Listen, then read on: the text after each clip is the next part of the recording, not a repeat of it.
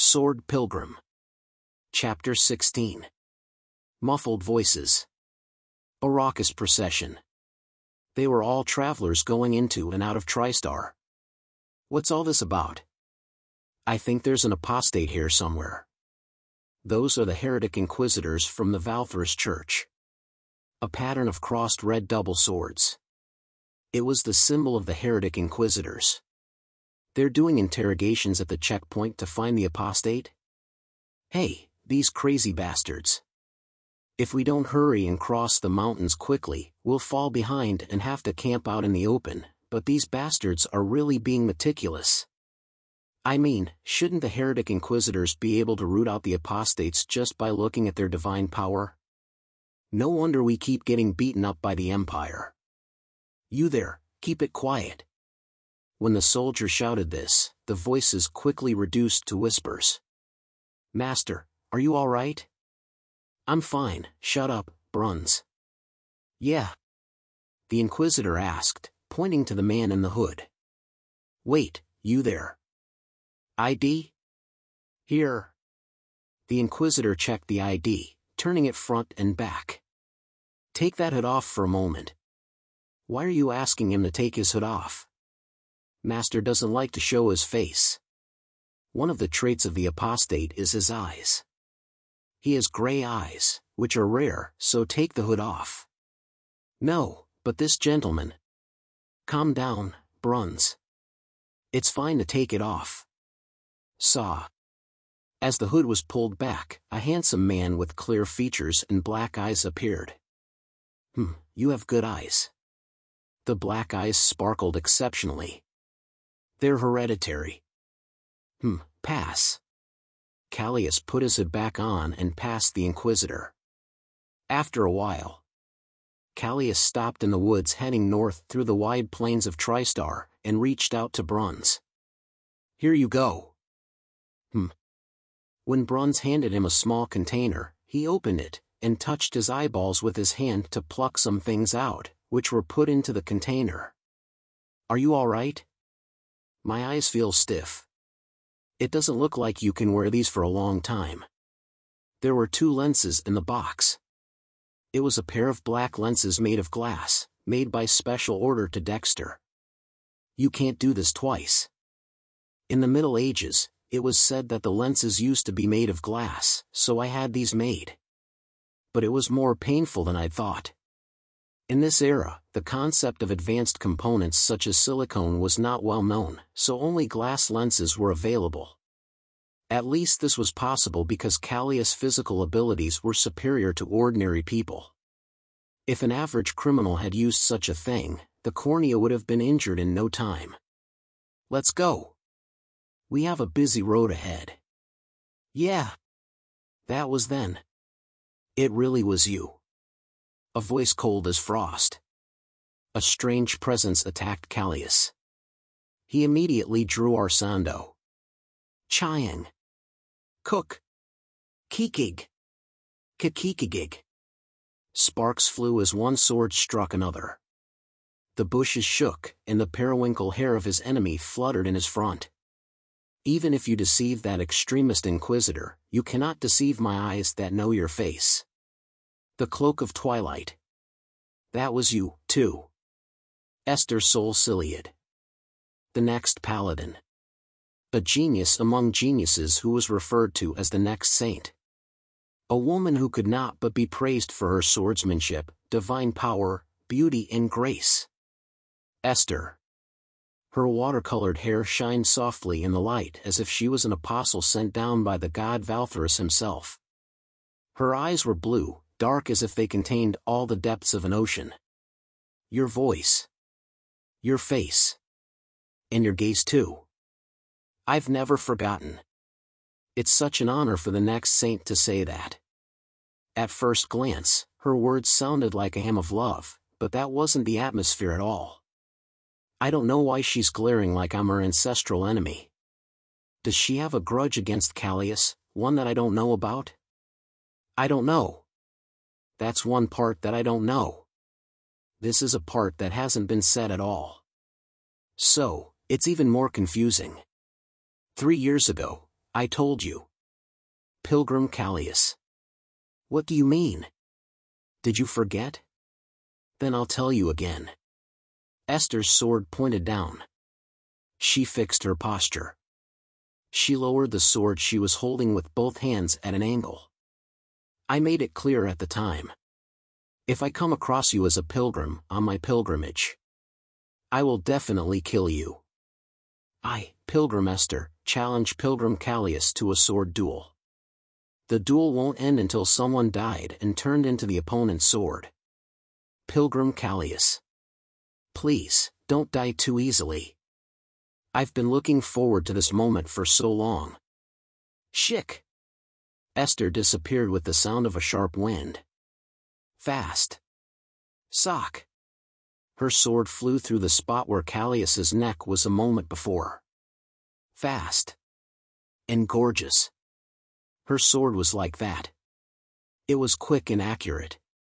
At first, she approached so quickly that he didn't even notice she was approaching, and in an instant she drew her sword and cut. Sue.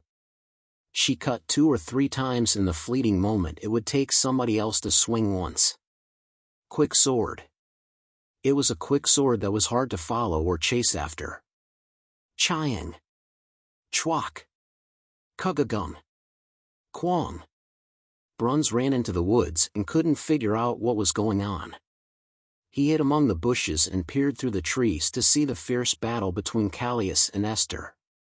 Sparks fluttered between the sword strikes that were too fast to be seen, and trees were cut down and collapsed in instants. Gulp. This was a true fight between pilgrims. It's not the time to be thrilled. Ah, but there's no way for me to help Master. All he could do was watch from afar. Chiang. The power is getting worse again. It wasn't just speed. Her power was equally strong. The quality of divine power was also high. Perhaps it was because he had observed the divine power contained in the sacred stone, so her level could be captured at a glance. Her divine power was level 3. No, it would soon become level 2. The purity of the divine power was exceptional. It's only been three years and you've reached this level. That's great. You were a person who knew how to grow, too. I didn't expect you to receive my sword this far because time is fair to everyone. He was doing his best, but his right hand holding the sword still trembled. If it wasn't for the glove I got from Dexter, my hands would have exploded already. Because her sword was fast and heavy. Nimble movements. And the calmness of divine power that suited her. All in all, her heightened physical abilities and unique quick sword gave the illusion that many swords were flying in from all directions. As if. It felt like being in the middle of a torrential rain. You try to avoid it, but you can't. The more you try to catch it at one place, the faster it comes to stab from another place. Ho! Dozens of shallow sword cuts had appeared on his arms and legs during that brief exchange. Is this because of the cloak? Of course. Of course, it's something I've been looking for, but I'm not doing something like this just because of that. Then why? Don't you remember? I don't. I forgot everything in my past. She lowered her sword and slowly closed her eyelids. Her long eyelashes were trembling, and she looked quite pissed off. You are a genius at making people angry. What did I do to you? What you did. What you did. No one else knows and even you don't remember, so it's like you never did anything at all, right? She spat out in fervid anger without giving a concrete answer. Esther was definitely not supposed to be like that. She never got very angry, nor sad. She was cold and rigid. A woman who was merciless to demons and beasts, but kind to children. That was Esther Sol Ciliad. Hmm. I honestly don't know. I know Callius this bastard probably didn't sit still in the church, but I don't know if he did anything to Esther. Could he really have done something? To Esther. Just when I was about to start thinking. Esther's mouth opened. You approached me first, but when you found out that I wasn't from a noble family you started treating me badly. Ah. Uh, and for some reason you began to despise me and even torment the commoner-born monks around me. Ah, is that so? Not only that. You asked me to practice swordsmanship with you, and after you were defeated, you did all sorts of absurd things. They were frivolous things like putting in nails in Esther's wooden sword's handle and putting needles in her shoes. Forming a group with aristocrats, he harassed the commoners and punished anyone who spoke to Esther. That's what he did. I kept apologizing to you all along. I did it even though I hadn't done anything wrong.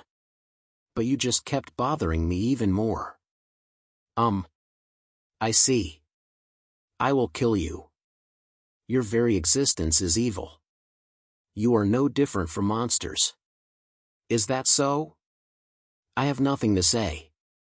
I mean, those things were definitely not things I did, but now that it has come to this, what can I say?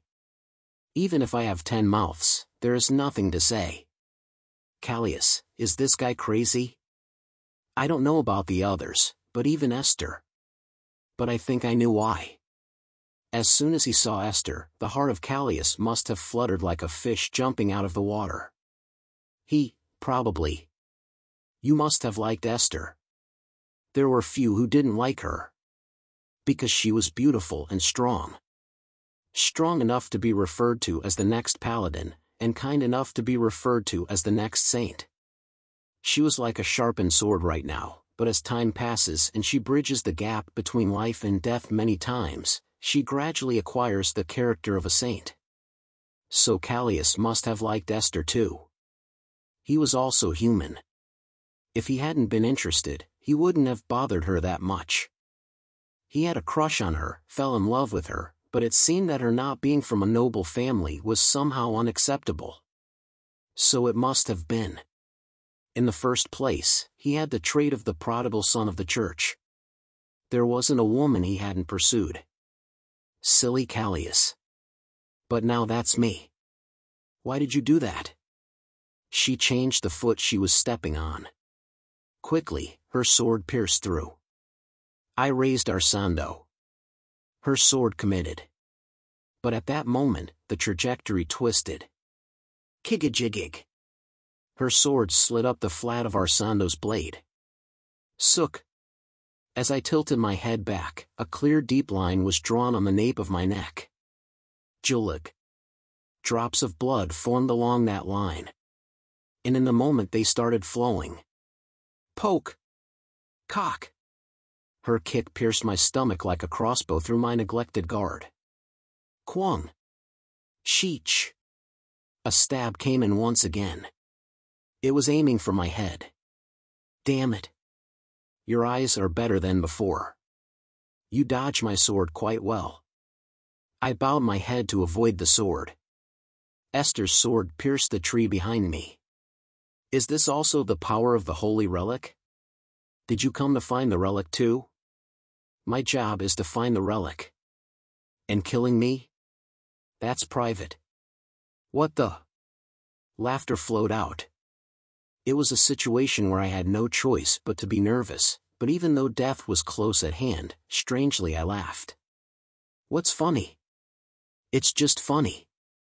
It's funny that you're standing now front of me, and I can't believe that you came to kill me. It's no joke. Yeah, I guess. Who? Callius sighed heavily and looked into Esther's eyes. There are no relics.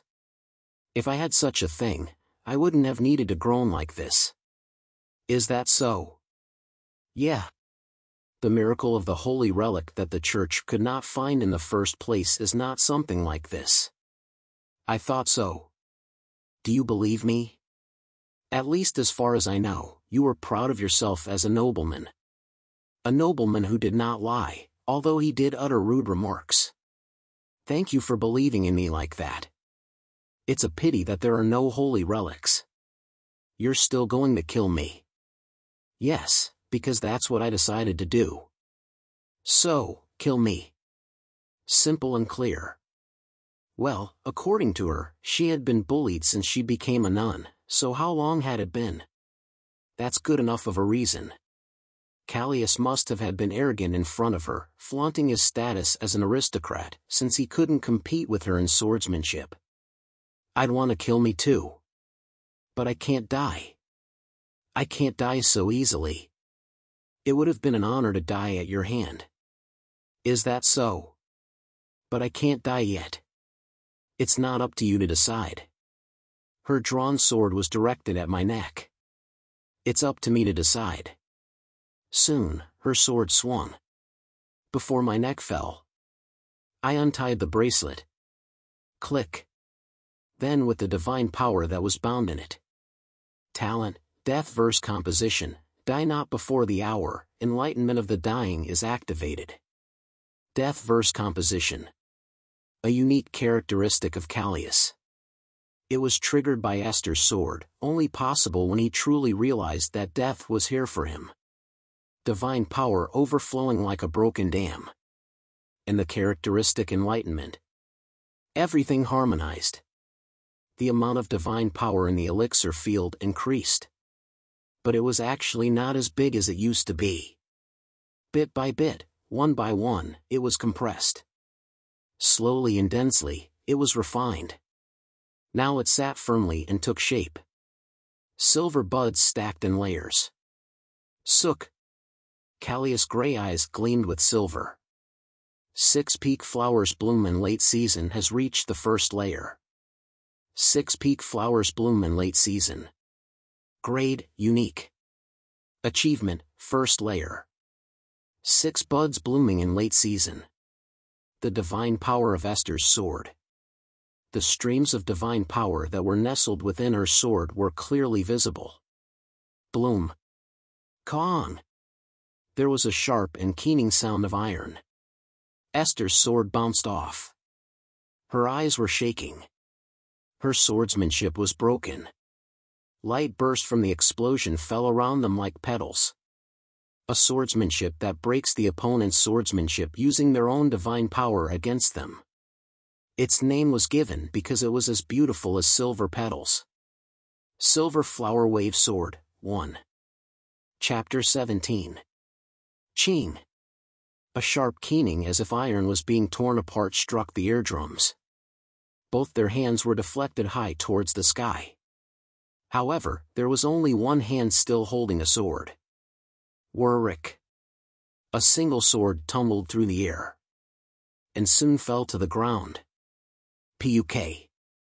Silver petals danced between them like shards of broken glass. How can you? Esther's eyes were bewildered and astonished. And filled with an overwhelming excitement. Several emotions were mixed in those eyes. There was no sword in her hand. Only one blow. It felt like a swift thunderbolt, yet that sword was beautiful to see. Once upon a time. With one sword, Saint Stella had built the church of today. A feat that no one else has equaled since. Six peak flowers bloom in late season, silver flower wave sword. Esther was speechless for a while. And, it was the same with Callius. What did I just do? In an instant, he achieved enlightenment. It was thanks to his unique characteristic that he could unlock only just before he died. Of course, I knew. I intended it. I loosened Vivi's bracelet just in time, tasted the explosive divine power, and awakened to enlightenment. But that enlightenment was fleeting. A fleeting, split second. However, the wonder of it made me ponder a lot. The ground that split long behind Esther. The woods and the trees, cut down. It was as if a giant sword had cleaved through the earth. It's your defeat. Esther.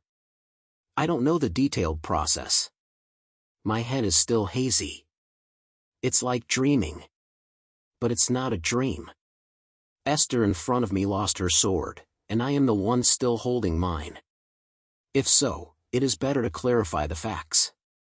What happened to my arm? It looks like a damn harpoon. In this state, there is no strength left to move even one fingertip. Obviously, Vivi's bracelet has just been loosened, but there is still not much divine power left. It was because I had consumed most of it with just one blow. Perhaps because of crossing my limits, fatigue quickly sets in. There's a feeling of lethargy that will make you faint even if you release the slightest tension. Nevertheless. That's why. Callius had to speak.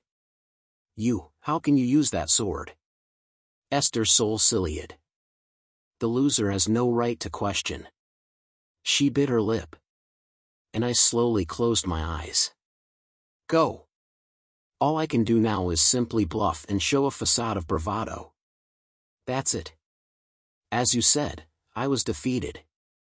Are you not taking my life? You must not kill the woman who will later become the most powerful sword of the order. Because her existence, even if only a little bit, can help withstand the empire. You must live. What is that supposed to mean? She has a grimacing face, as if I'm talking nonsense. But she has to live. When the main quest begins, the kingdom will tremble and shake. Esther is the one who can soothe it. She is somebody who will rise to the rank of the masters later. Without her, my survival is also merely a candle in a storm. So, she has to live. Esther, stay by Silivian's side. Her death is imminent. You! Esther was startled. Silivian is a cardinal of the Order of Valtherus, a famous alchemist, and at the same time, a prophet. She is the one who took care of Esther, and is destined to become her sword. After her death, Esther follows her wishes and turns Silivian into a sword, a vision sword that brings miracles to allies and disasters to enemies. You will have a vision sword, Silivian you are a woman who cannot afford to waste any more time here. Go. I can't even stand any longer. I felt regretful inside, but it was right that I had to let her go. The dignity of an aristocrat was holding tightly to the spirit that was about to disperse. Esther pursed her lips as if she wanted to say something more, then clenched her fists and turned her back. Aren't you taking your sword?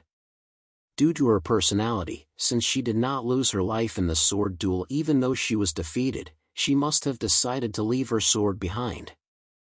After a while. Only after feeling her presence vanish in the distance, Callius drooped down. I almost died. I was really about to die. I couldn't believe that Esther almost killed me. It was absurd and I just laughed. It hurts so bad.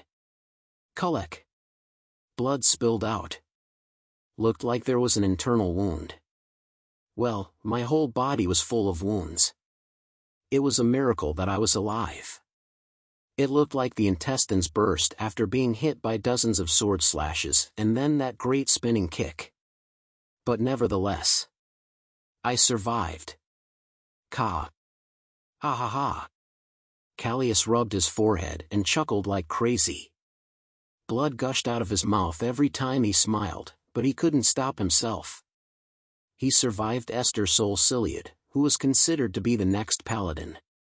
Six Peak Flowers technique completed a single layer, and made one swing of the silver flower wave sword. Broke Esther's sword, and showed off a blooming silver flower. A trash swordsman survived Esther, a genius among geniuses.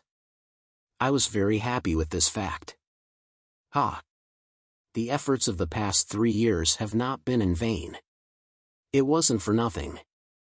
The strange sense of satisfaction welling up from that fact. And the overwhelming relief, combined to make Callius' eyelids heavy. Did I bleed too much? The twilight cloak was made to keep off the cold, but it still felt strangely cold. I don't think it should be delayed any longer. Callius immediately took out a bottle of holy water that had been stored in the stigma. He gulped most of it down in one breath and scattered the rest all over his body.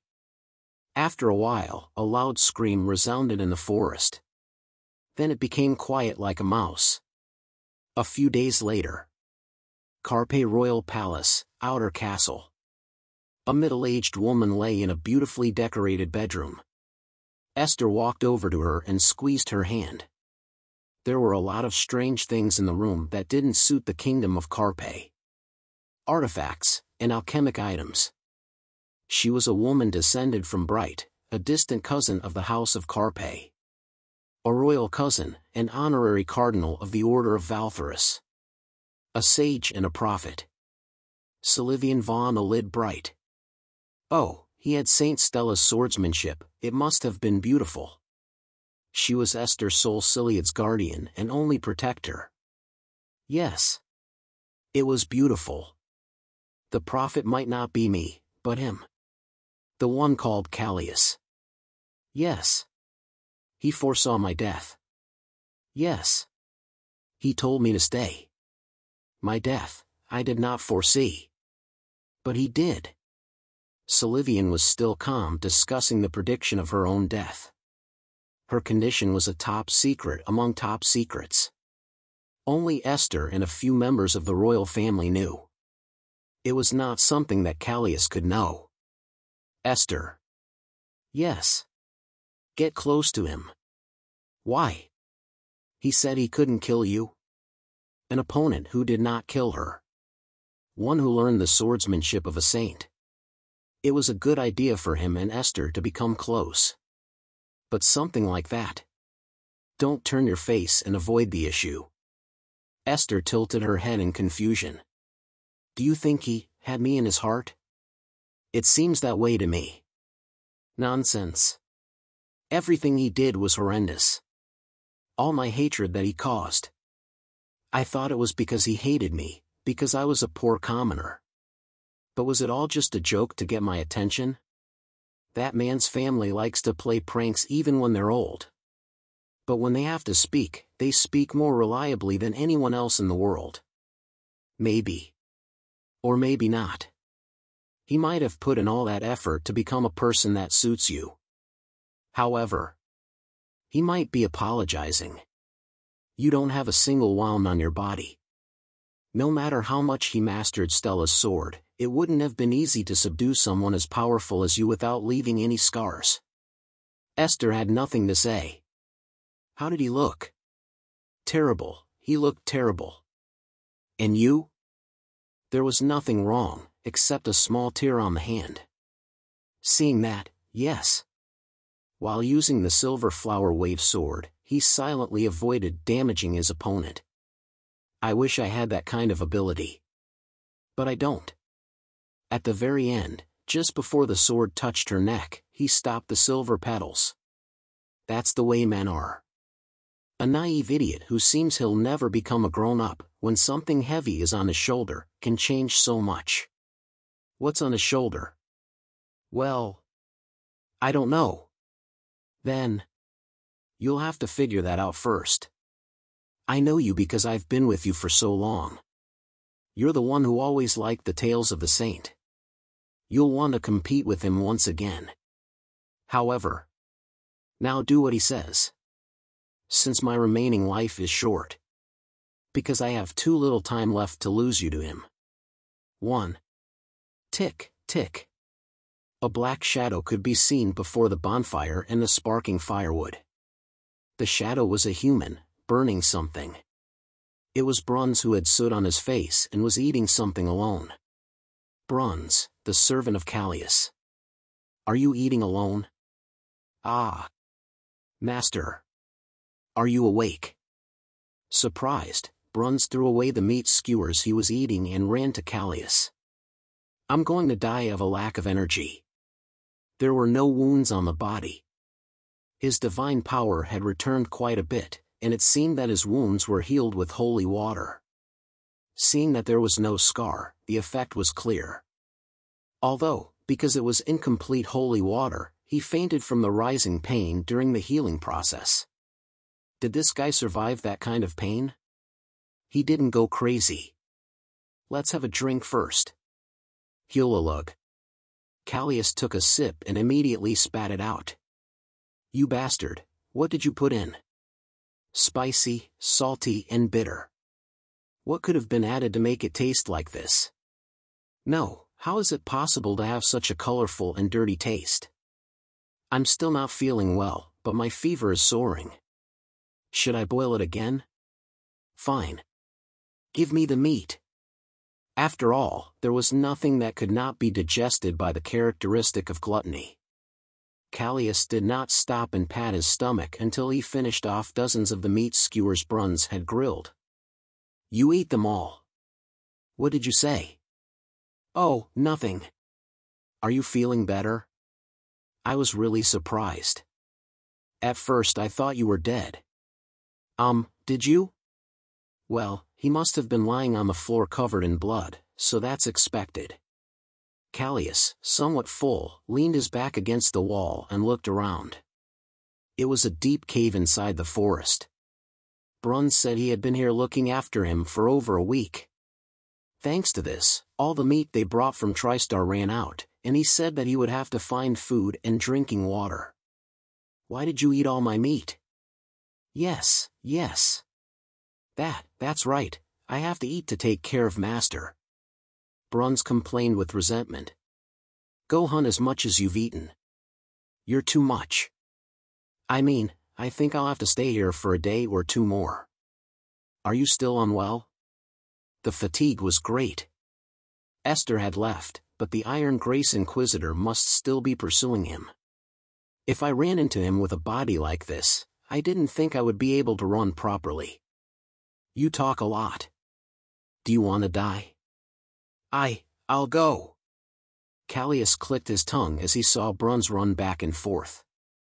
I'd brought so much food, but ten days' worth of food had already run out. How much are you eating? TTT. Callius wet his lips with his tongue and then closed his eyes, quietly contemplating his body. A small bud in the lower abdomen. Its existence was felt more clearly than before. Callius von Jervain. Occupation, Pilgrim. Spirit, Level 4. Divine Power, 2571-4251. Talent, Bard's Blessing, Best. Characteristics, Verse of Grace, Nobility's Duty, Scapegrace of the Count Family, Death Verse Composition, Prodigal Son of the Order, Gluttony, Tricolor Eye. Ability. Strength, 22-26 10. Agility, 15 plus, 10. Skill, 8-12. Health, 15-17 plus, 10. Faith, 21-23. Perhaps because he learned the Six Peak Flowers technique, his overall ability and divine power increased significantly. All stats excluding agility plus 2. And the amount of divine power had increased by about a thousand it was possibly the remaining influence of the manipulations of divine power or related to the Enlightenment while completing the first layer of the Six Peak Flowers technique. Have I finally started walking on the road now? Three years. Only now, I was able to walk properly on my journey. Now is the start. Now, I am finally standing on the same starting line as them. I was happy enough to cry, but I purposely calmed my heart even more who? There is a long way to go. It's still too early. There is only one bud of divine power perched on the elixir field. You have to make six and burn them all to offerings before you can call it the complete six peak flowers bloom in late season. There are too many strong people in this world to be happy with just one. A lot of it depended on luck. In the duel with Esther, he relied mostly on luck. He believed in his unique characteristic, but it was too close. If he had done it wrong, he might have died before the trait even activated. Callius grabbed one of the two swords on the side of the cave. I can't use Arsando anymore. Arsando. If it was whole, it could be used, but a lot of the edge had degraded. If there was only one, I would have just used it, but now I don't have to. Because there was Esther's sword. Lucen. Grade, Life Sword. Infused Soul, Lucen Duvalis. A sword imbued with Lucen's soul. It was a sword that fell only a slight distance short of the ranks of spirit swords. Among the top five life swords in the Church's long-time custody. There are few blemishes. Since it is a sword that is close to a spirit sword, it is a sword with a good sense of weight and balance.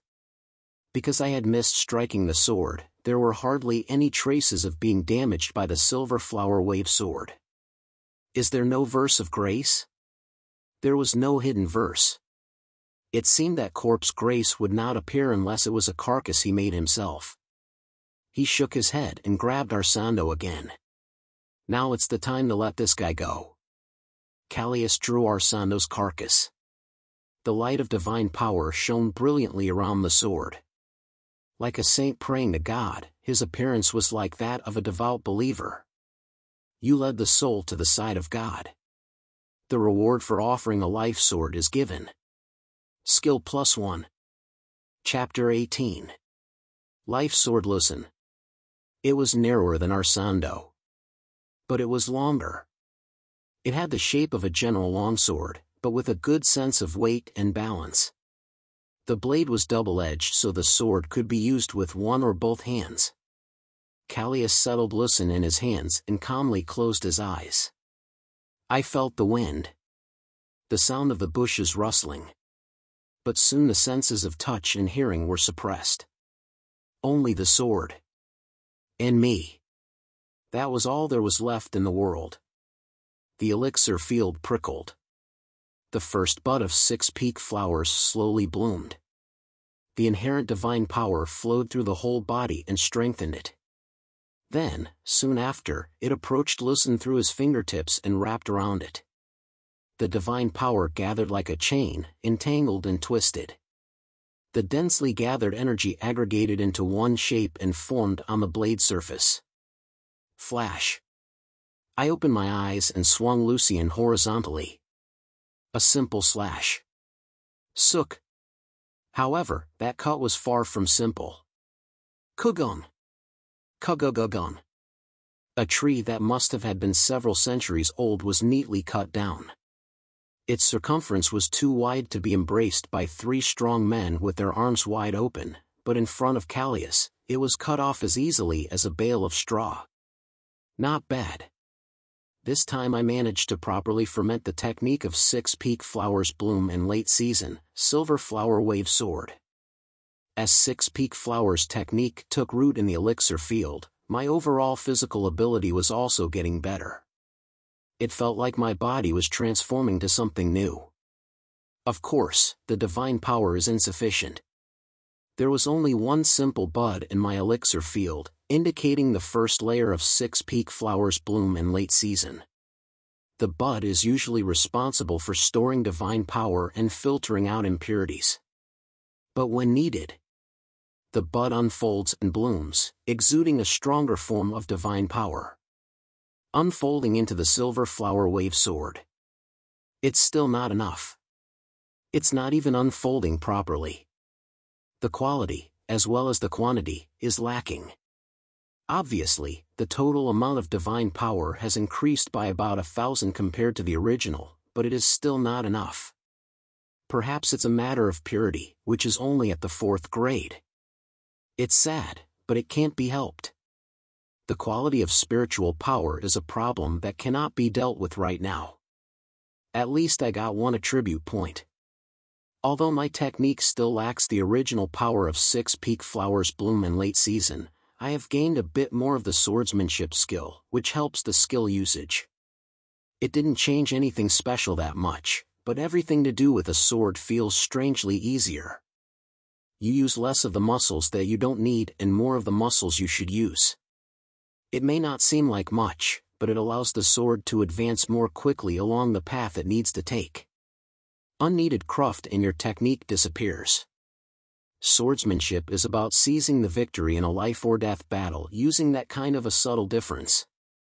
Slowly, my body got better. Callius, after putting the famous sword Lucen into a simple sheath, put on the cloak of twilight that he had shrugged off earlier, and turned his head.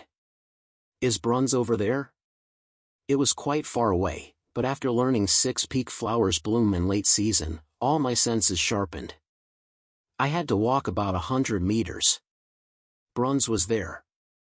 What are you doing? Master. I'm catching fish. Bruns, who had found his way to the center of a fairly large river valley, boasted that he was confident in catching fish, so just wait a while. Bruns did not move, as cautious as a bear trying to catch salmons. Hmm, this guy is pretty sturdy. But he's pretty useless. Bruns, who had shouted that he would catch a fish soon, couldn't catch any fish in the end, and blamed the valley water for it. It seems that there are no fish because the quality of the water is different from my hometown. You're useless. Eventually, Callius blew the flute.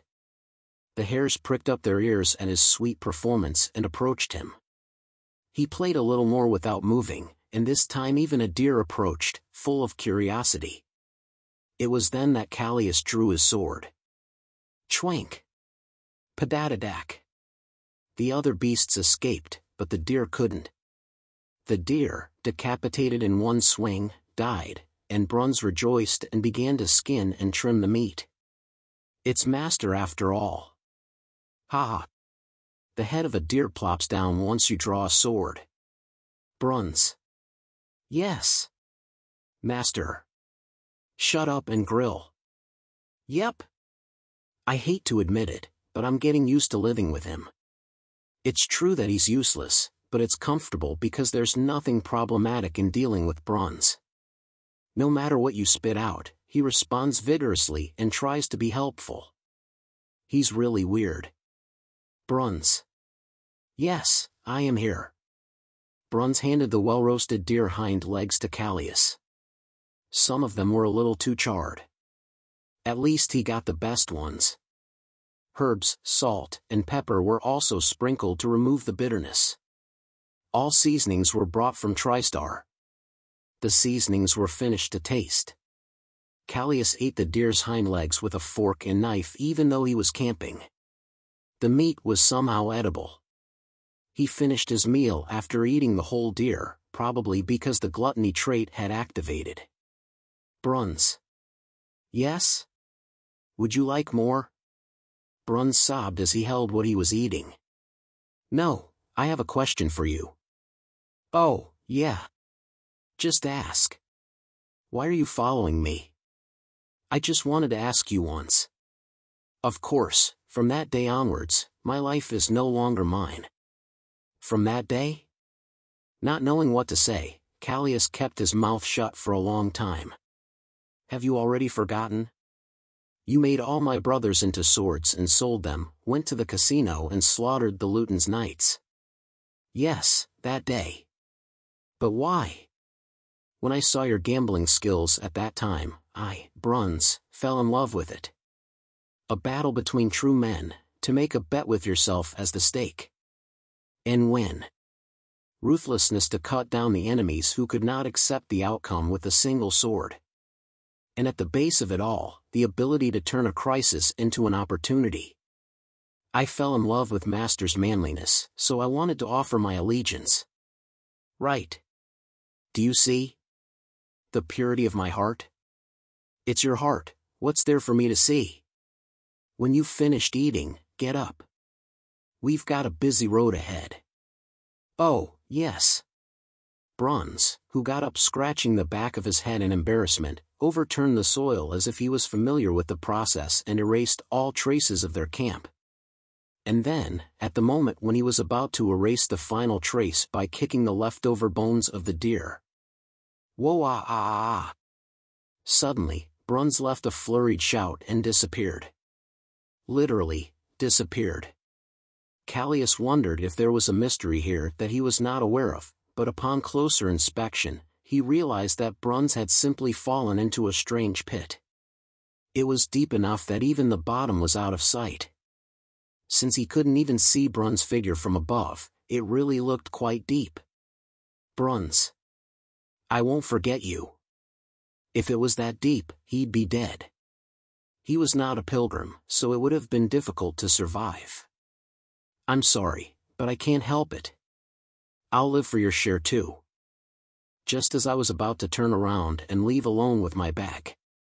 A sound came from inside the pit. Master. What, were you alive? Were you just leaving me here? Of course not. He was quick on the uptake. Can you come up? That would be a bit difficult. But there's a door down here, so it looks like there's a passage to somewhere. Door? Passage? So, looks like it's not a naturally created pit. Hmm, if it's a door to a basement that deep underground. There is one thing that comes to mind. Callius immediately raised his divine power to protect himself and descended into the pit. Huang. Kwang. He was prepared for a shock because it was a long fall, but in the end, there was no need for that. He'd forgotten that fall mitigation was one of the abilities of the Twilight Cloak. Master. You really came this far for me. Shut up and get out of the way. Callius pushed the approaching Bruns and looked at the door on the wall. It wasn't just a simple door. It was an iron gate with an engraved geometric pattern. Callius knew where these gates would usually be located. An alchemist's underground laboratory. Alchemists were those who researched the sorcery of the spirit, alchemy, sometimes also called enchanting. They either did not have much interest in swordsmanship or had no talent in it, so they studied relics as well as artifacts that are imitations of relics. What is this? Traces left by an alchemist. Perhaps, this door has been engraved with an alchemical technique. Bruns made a face that he didn't quite understand.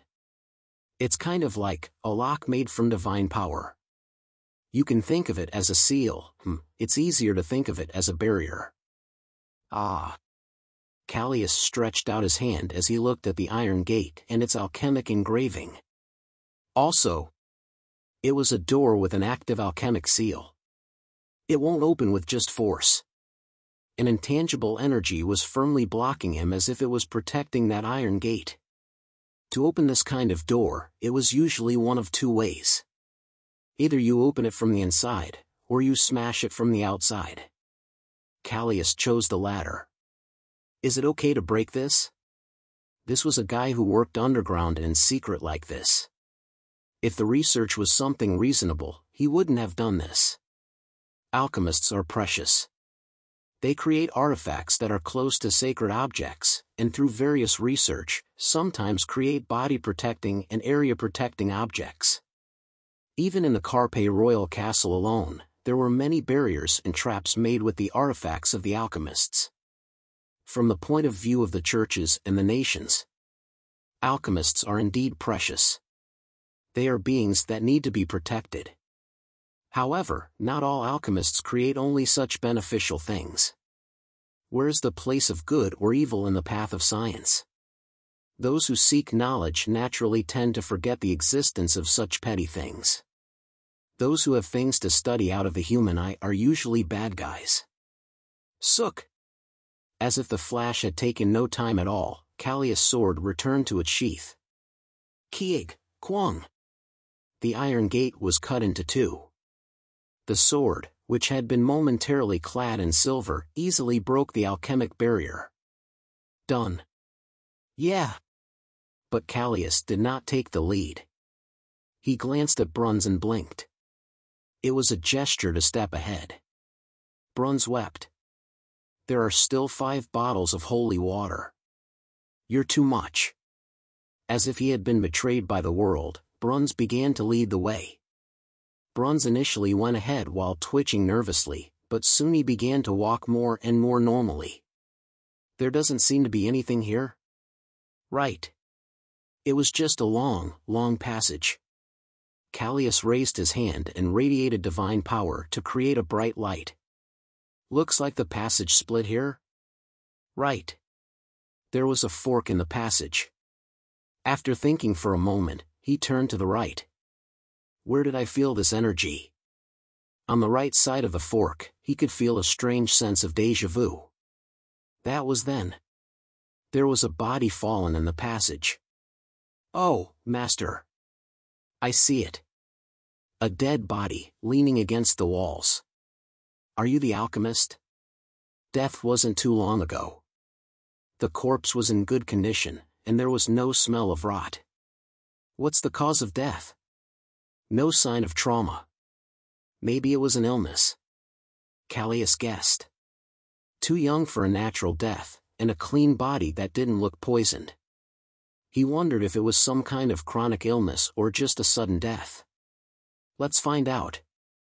A faint light shone from the body. He seemed to have a lot of regrets. Callius immediately turned the cadaver into a carcass. Well, memories flew into his mind. Memories of this underground research. Regrets for successes not achieved. Callius saw the two-handed sword in his hand. Rogerus. Grade, Carcass Sword. Infused Soul, Rogerus Won. Rogerus Bitter Sword. He wanted to complete his research. Rogerus. It wasn't fully clear. But he could guess the broad strokes based on what he knew. Callius walked straight through the passage without hesitation. He soon found the piles of papers, and buried in them, a research journal. Rogerus Research Journal. Why does God perform miracles only for the humans and the humanoid subspecies? Why are his miracles only for the corpses of humans and humanoids? Omitted. Why can't I make a carcass from the corpse of a beast? Why not monsters? I question this, and study the knowledge declared taboo. Taboo ill-advised areas of study. Research explicitly prohibited by the Church. God's miracles are only for humans. So what about the demi-human races? Are all the humanoid subspecies human too? For the gods, humans and demi-humans seem to be distinguished as sapient life born from a single branch. Gods probably treat the demi-humans the same as humans. They can also perform the miracle of the carcass. What about a beast stronger than a human? Wouldn't a more powerful sword appear if a stronger monster was made into a carcass? There had been many pilgrims who thought so. But God's miracles are directed only towards humans. Human. So, what are the standards for defining a human? Rogerus' research started from that. The upper body of a human and the lower body of a monster. The arm of a monster in a human body. It was an ugly research journal mixed with intellectual curiosity and the desire to make a stronger sword. Biological experiments prohibited by the Church. The journal logged the progress of such experiments. And did you finally find the answer? A composite of human and monster. A chimera. Dot. 1. It seemed that the research was carried out with that goal in mind. It started with mating, artificial insemination, ovulation, etc. There were a lot of messy research processes. However, he eventually made several chimera through trial and error, then killed them and turned them into swords. Rogerus. The completion of his desired research. His magnum opus. Killing, Lowe's, the most complete test body, and turning it into a sword. That was his wish. Master. Callius immediately turned and left the lab. He walked back to the mouth of the fork and took the left passage. Sook. When he turned his head, the side of the passage was full of glass tubes large enough to hold a person. There were some holding what looked like monsters, and some holding what looked like humans. However, the place Callius' eyes turned to was the very end of the biological laboratory. There, something that was neither human nor monster was wriggling inside the glass. A human monster composite. A chimera. Was this really a human, or a monster? What would God define this as? Although he knew the truth, Callius raised his sword. Chapter 19 The Biological Experiments of Rogerus Won. As soon as I saw the name of the unknown alchemist I had turned into a carcass, memories of the past came like a deluge. An Easter egg in the game. Secret Dungeon. Hidden Piece, 1. A secret item. Master, are you alright? Fine. Callius actually wasn't in very good condition. He wasn't hurt anywhere, but he was exhausted mentally and physically from a pretty intense battle. The chimera within the glass tube, Lowe's. Rogerus's test subject that broke the tube and ran wild the moment Callius raised the sword. It was not afraid of Callius' sword, and even when its limbs were severed, it devoured the monsters sleeping in the other tubes and regenerated. There wasn't any time to ponder more deeply whether it was really a human, or a monster. Callius used the silver flower wave sword, and chopped it into two pieces. Rogerus test subject, complete. Strength plus two. Rogerus' carcass turned into light and disappeared, leaving Callius two swords. 1. Lucen, the life sword left behind by Esther. Another. Predator sword, Los. Grade, life sword. Inhabited soul, a mixed soul. The test subject that was the culmination of Rogerus' research. Although it was the last chimera Rogerus created, it was turned into a sword by Callius von Jervain. Unique ability, Predation. Predation count, 0. Predator sword, lows. A sword with a vicious, serrated blade, like the teeth of an animal. The blade looked as if it had been deliberately broken, and pulsed with a greed for flesh and blood. The Predator sword wore the form of a single-edged sword, and had unique abilities despite being only a life sword.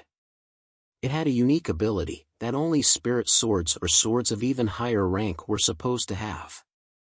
Predation the name of the unique ability literally described the quality of one who preyed on flesh and blood.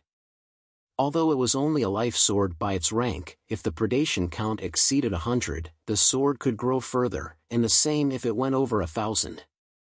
A sword that could become a spirit sword or even a vision sword.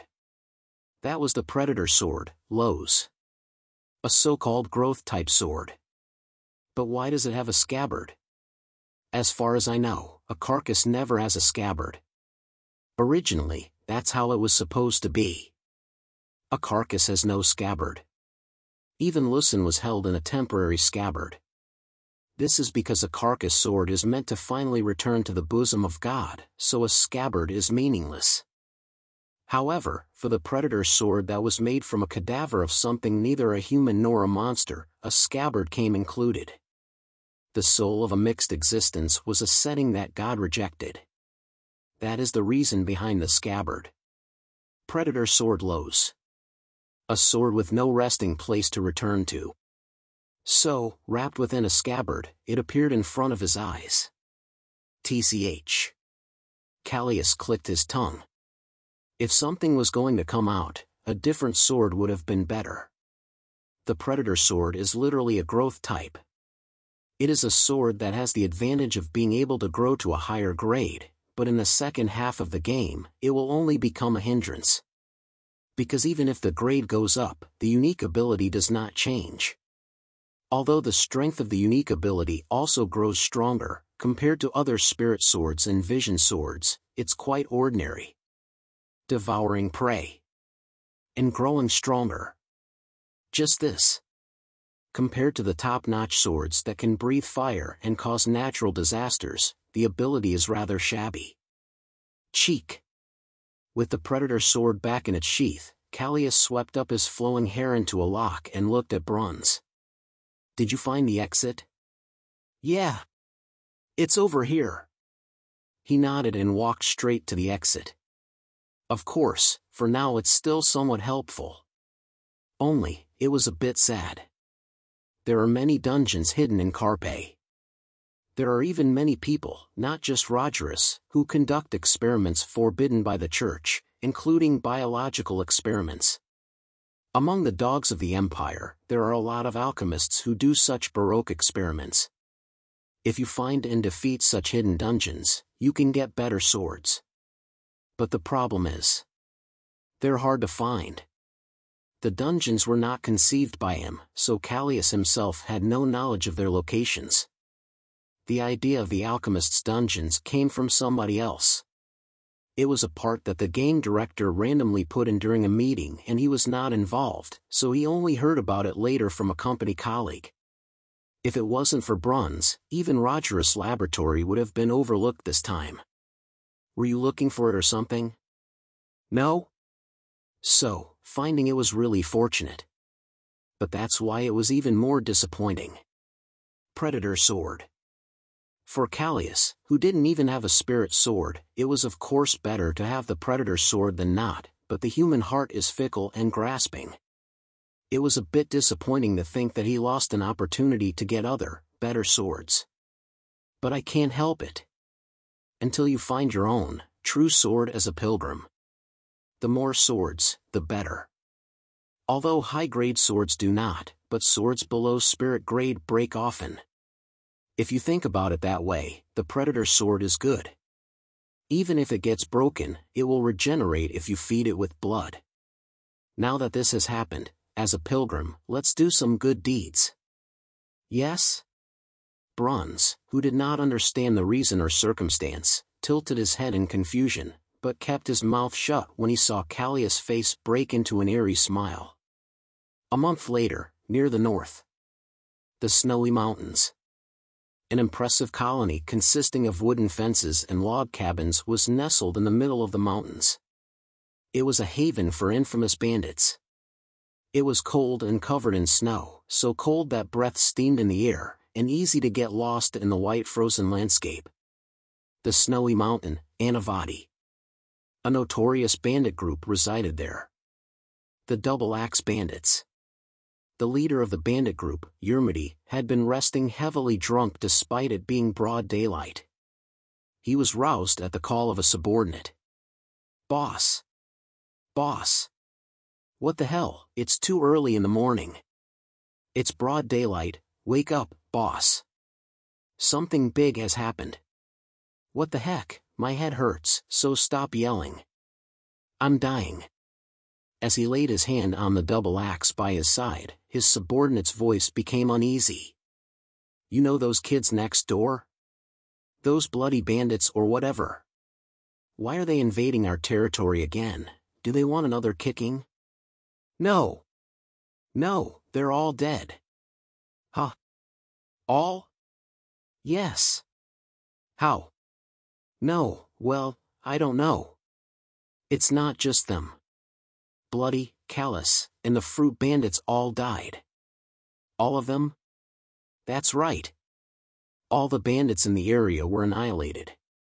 When he heard that they all died from an unknown cause, Yermity, the leader of the Double Axe bandits, was also very confused. Did the royal army invade or something?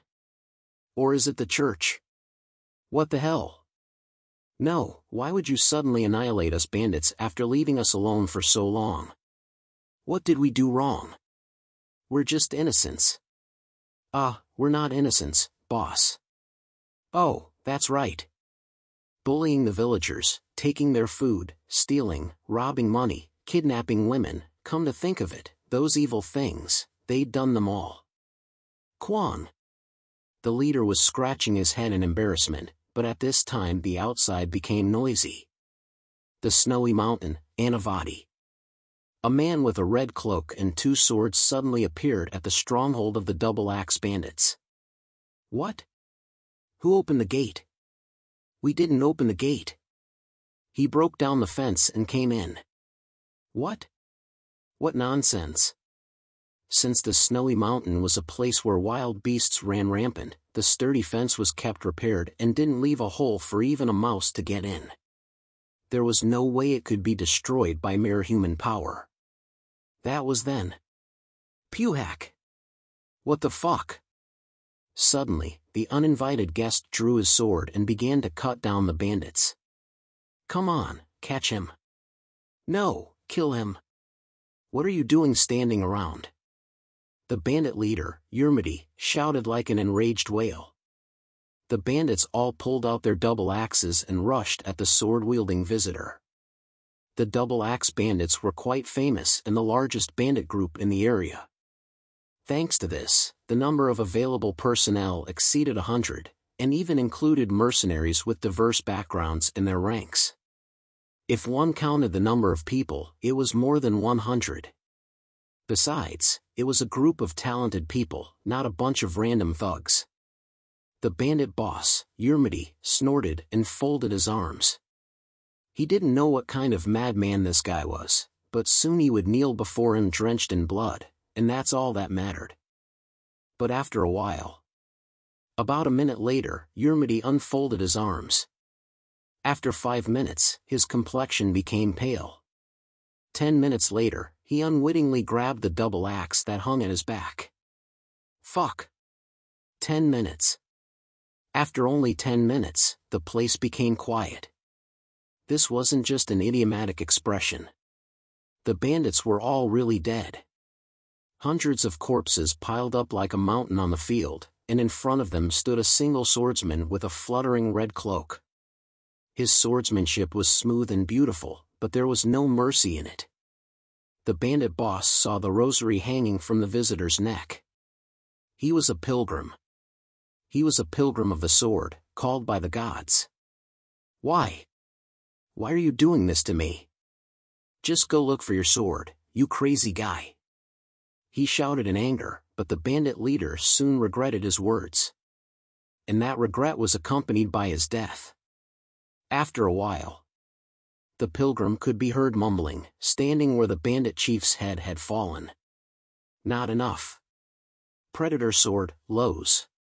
Grade, Life Sword. Inhabited Soul, a mixed soul. Unique ability, Predation. Predation count, 494.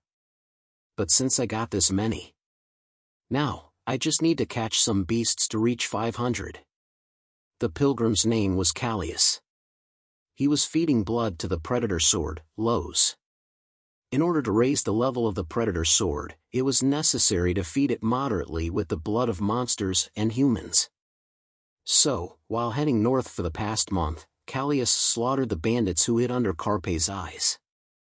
Because the northern part of the kingdom was always barren and the snow was so heavy that it was out of reach of the kingdom army, many criminal groups hid there. It was along the road north anyway. So on the way, Callius found the famous bandits and wiped them all out cleanly. After all, they were like cancer for society, so he had no reluctance in killing them the circumstances of each individual who became a bandit. If you can't wield your sword because you care about something like that, it's better to put it down and become an alchemist. Pant. Pant. Master. I'm here too. Please don't just leave me behind. Bruns. Callius clicked his tongue and put the predator sword back into its sheath. It was dripping with blood, but there was no need to wipe it off it'll devour it anyway. I thought you had a little bit of stamina when we started traveling. Is this your first time in the north? BRR, it's my first time in the northern areas. Master. It's also because the bag is heavy. Hmm. Lately, I've gained a lot from wiping out the bandits. Because the grateful villagers gave food as thanks, and gold coins and riches came from the bandits' dens the bag called Eldora's cloth bag, an artifact purchased from TriStar, couldn't handle the weight, so Bruns had to climb the mountain with a fairly heavy burden. About a hundred kilos or so. That's why Bruns' physique had improved a lot. The upper as well as lower body muscles had been torn and rebuilt, and it became a body that was worth seeing. Honestly, I thought he'd run away by now. For a neighborhood bully from the city, he had quite a bit of guts. Where are you going? To check out the place. A place this size should be full of gold coins and wealth. You can't just throw it all away. But it'd be heavy. The bag would become heavier.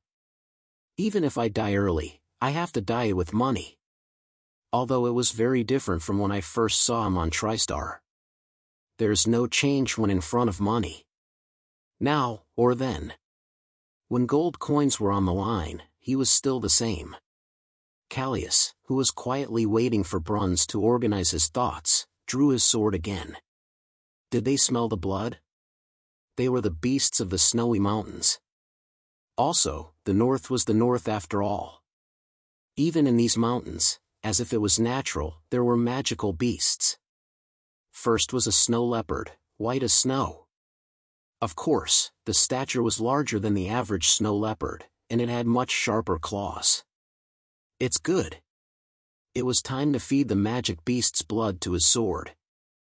Since they approached him by themselves, he could only feel grateful. Once again, Callius' predator sword was swung indiscriminately. One, two, ten. Even with the increasing number of corpses, strangely, the magic beasts did not fall back. It's a bit terrifying. Callius looked at the predator sword, Lowe's. Lowe's, pulsing with a terrifying anticipation, was devouring the blood of the demonic beasts on its blade. It's like a demon sword. This ominous sword was probably attracting the magical beasts somehow. Callius cut and cut, avoiding the claws and teeth of the onrushing magic beasts. And after a while. Master. I think you should come over here. Eek! Bruns ran out from a cabin somewhere and was startled. It was because next to the corpses of bandits, another mountain made up of corpses of large magic beasts had formed. No, in a few moments, you've became covered in blood. What's going on? Callius, who was drenched in blood, wiped his face with twilight cloak and approached Bruns.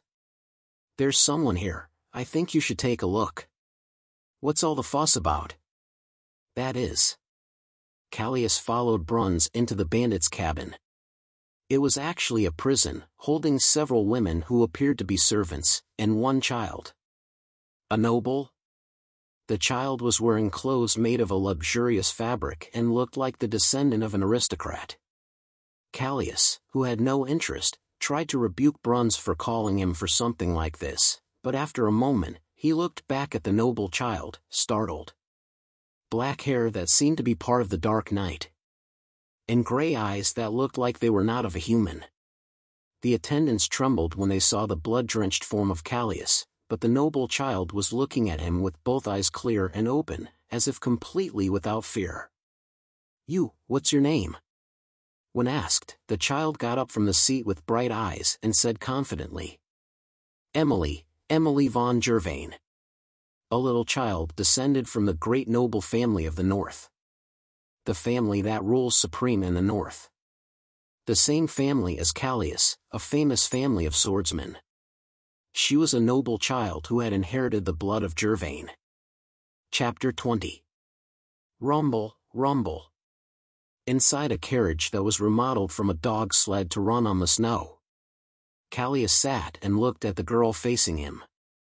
The same hair color as him. The same eyes. Emily von Jervain. The two looked at each other curiously. The two attendants accompanying Emily were murmuring and mumbling about Callius. Bruns was a little dissatisfied with the situation.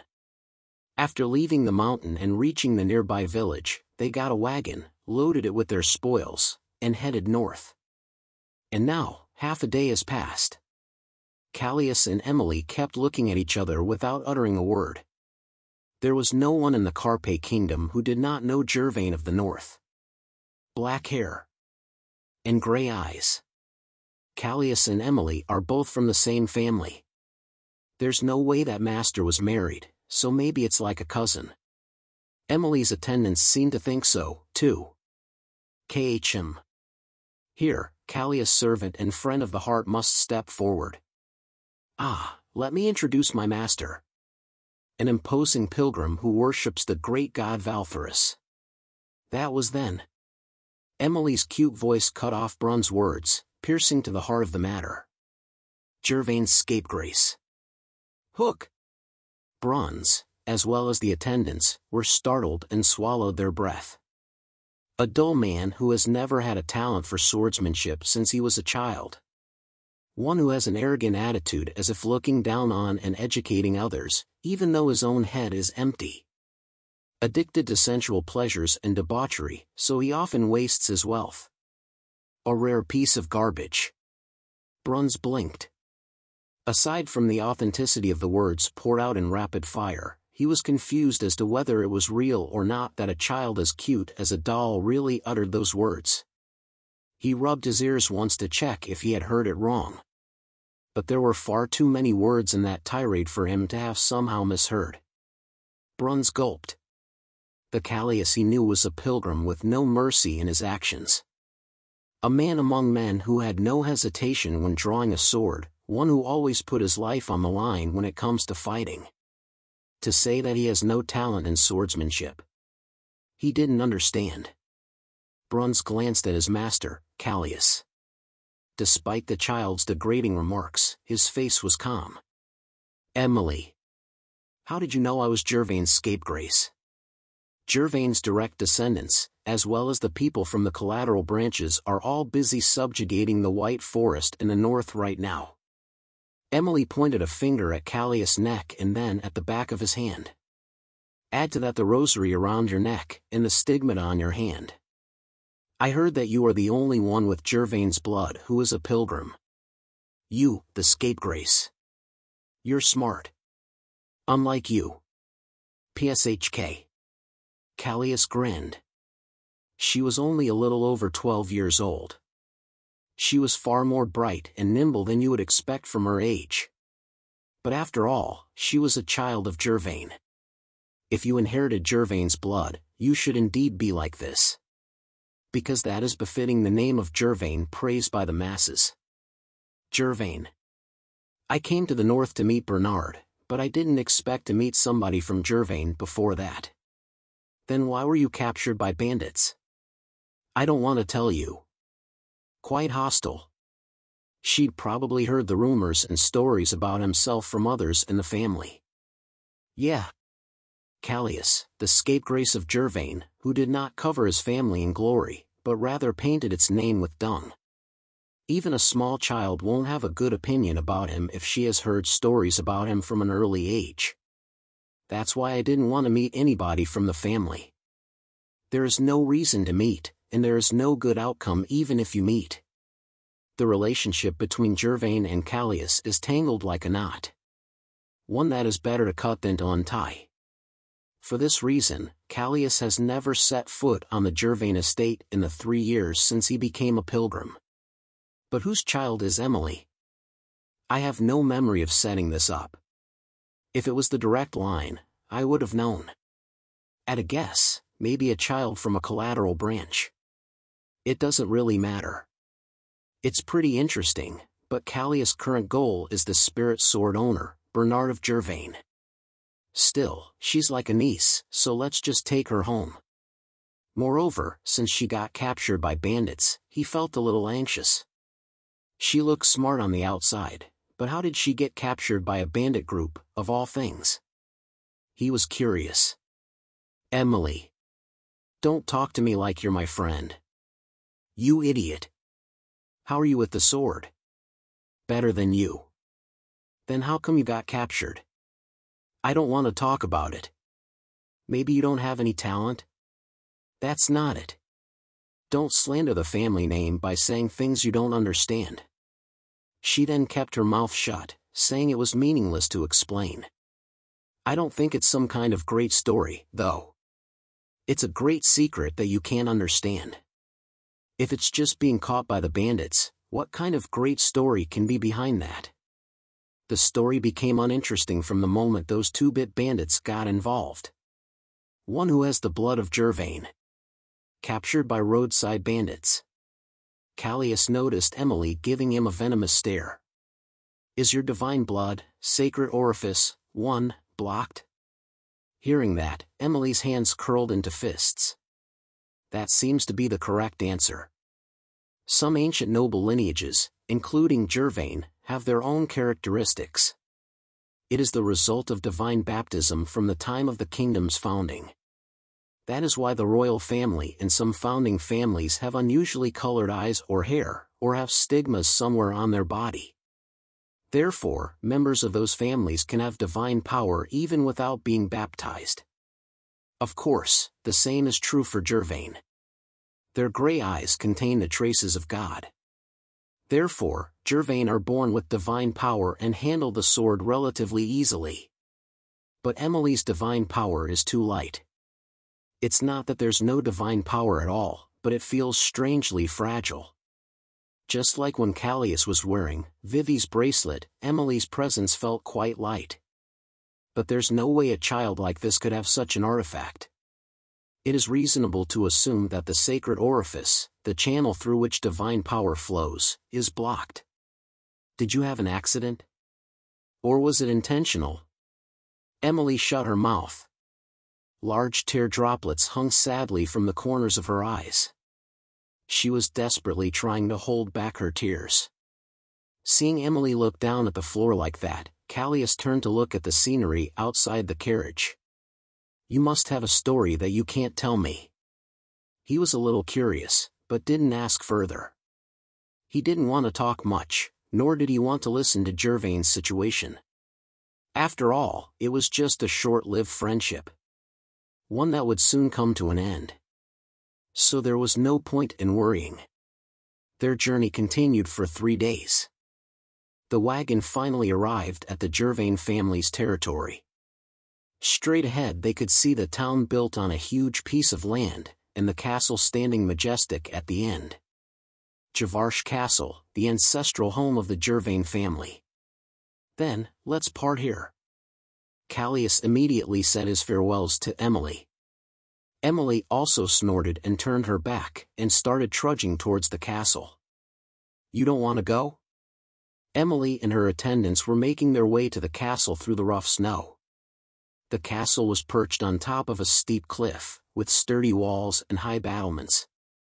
Javarsh Castle was nothing less than a natural fortress, and it was where Emily von Jervain should have been instead of running around outside. It's the Jervain family's estate. They'll recognize me, and that's not going to end up anywhere good. We're running out of food, and we have some things to sell.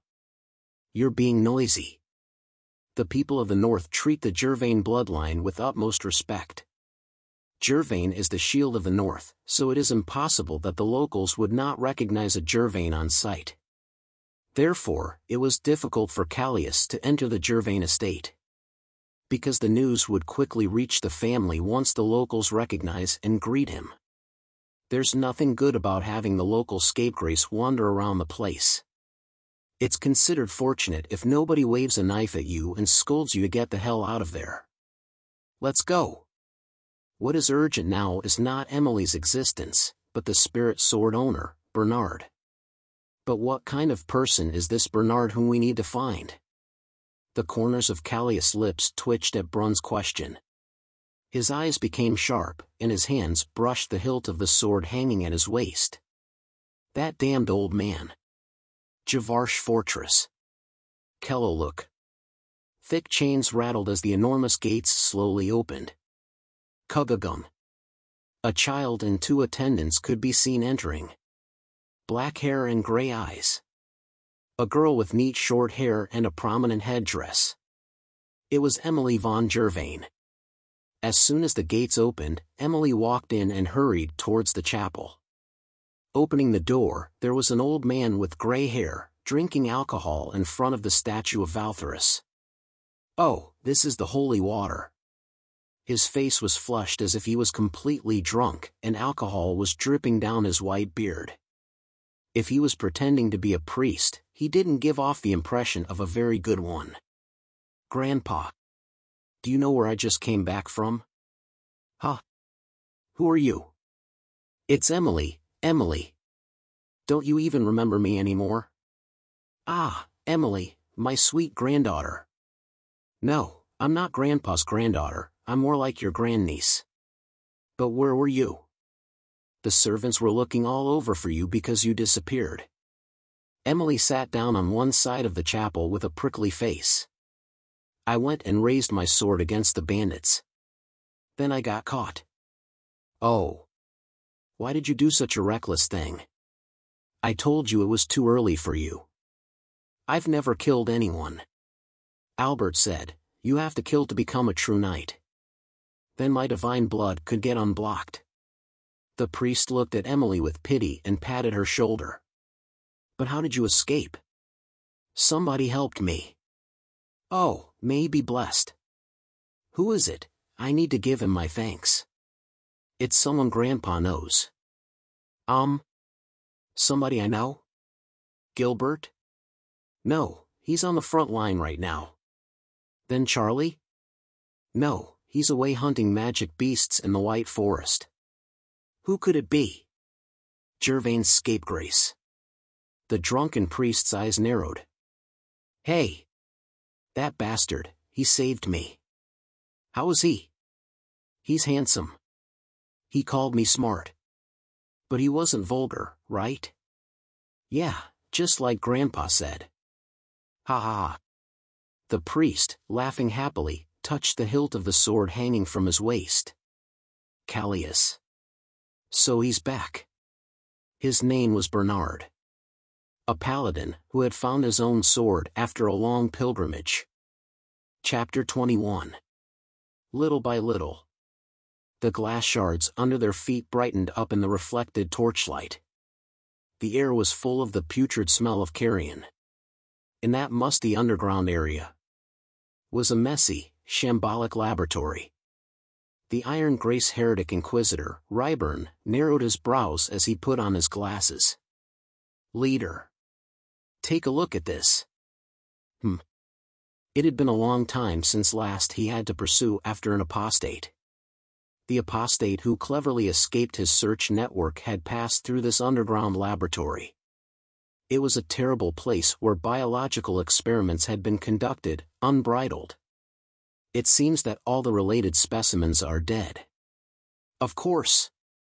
There were also some signs of battle. Although some time had passed, it wasn't difficult to infer what had happened. The heretic who broke the church's taboo and the apostate who hid the holy relic. It's an obvious combination. The heretic researcher couldn't have built a lab like this by himself. It was clear that he had a helper, and that must have been the apostate. Callius. It could be concluded that he had been the researcher's associate. There must have been some quarrel between them. These people are demented heretics.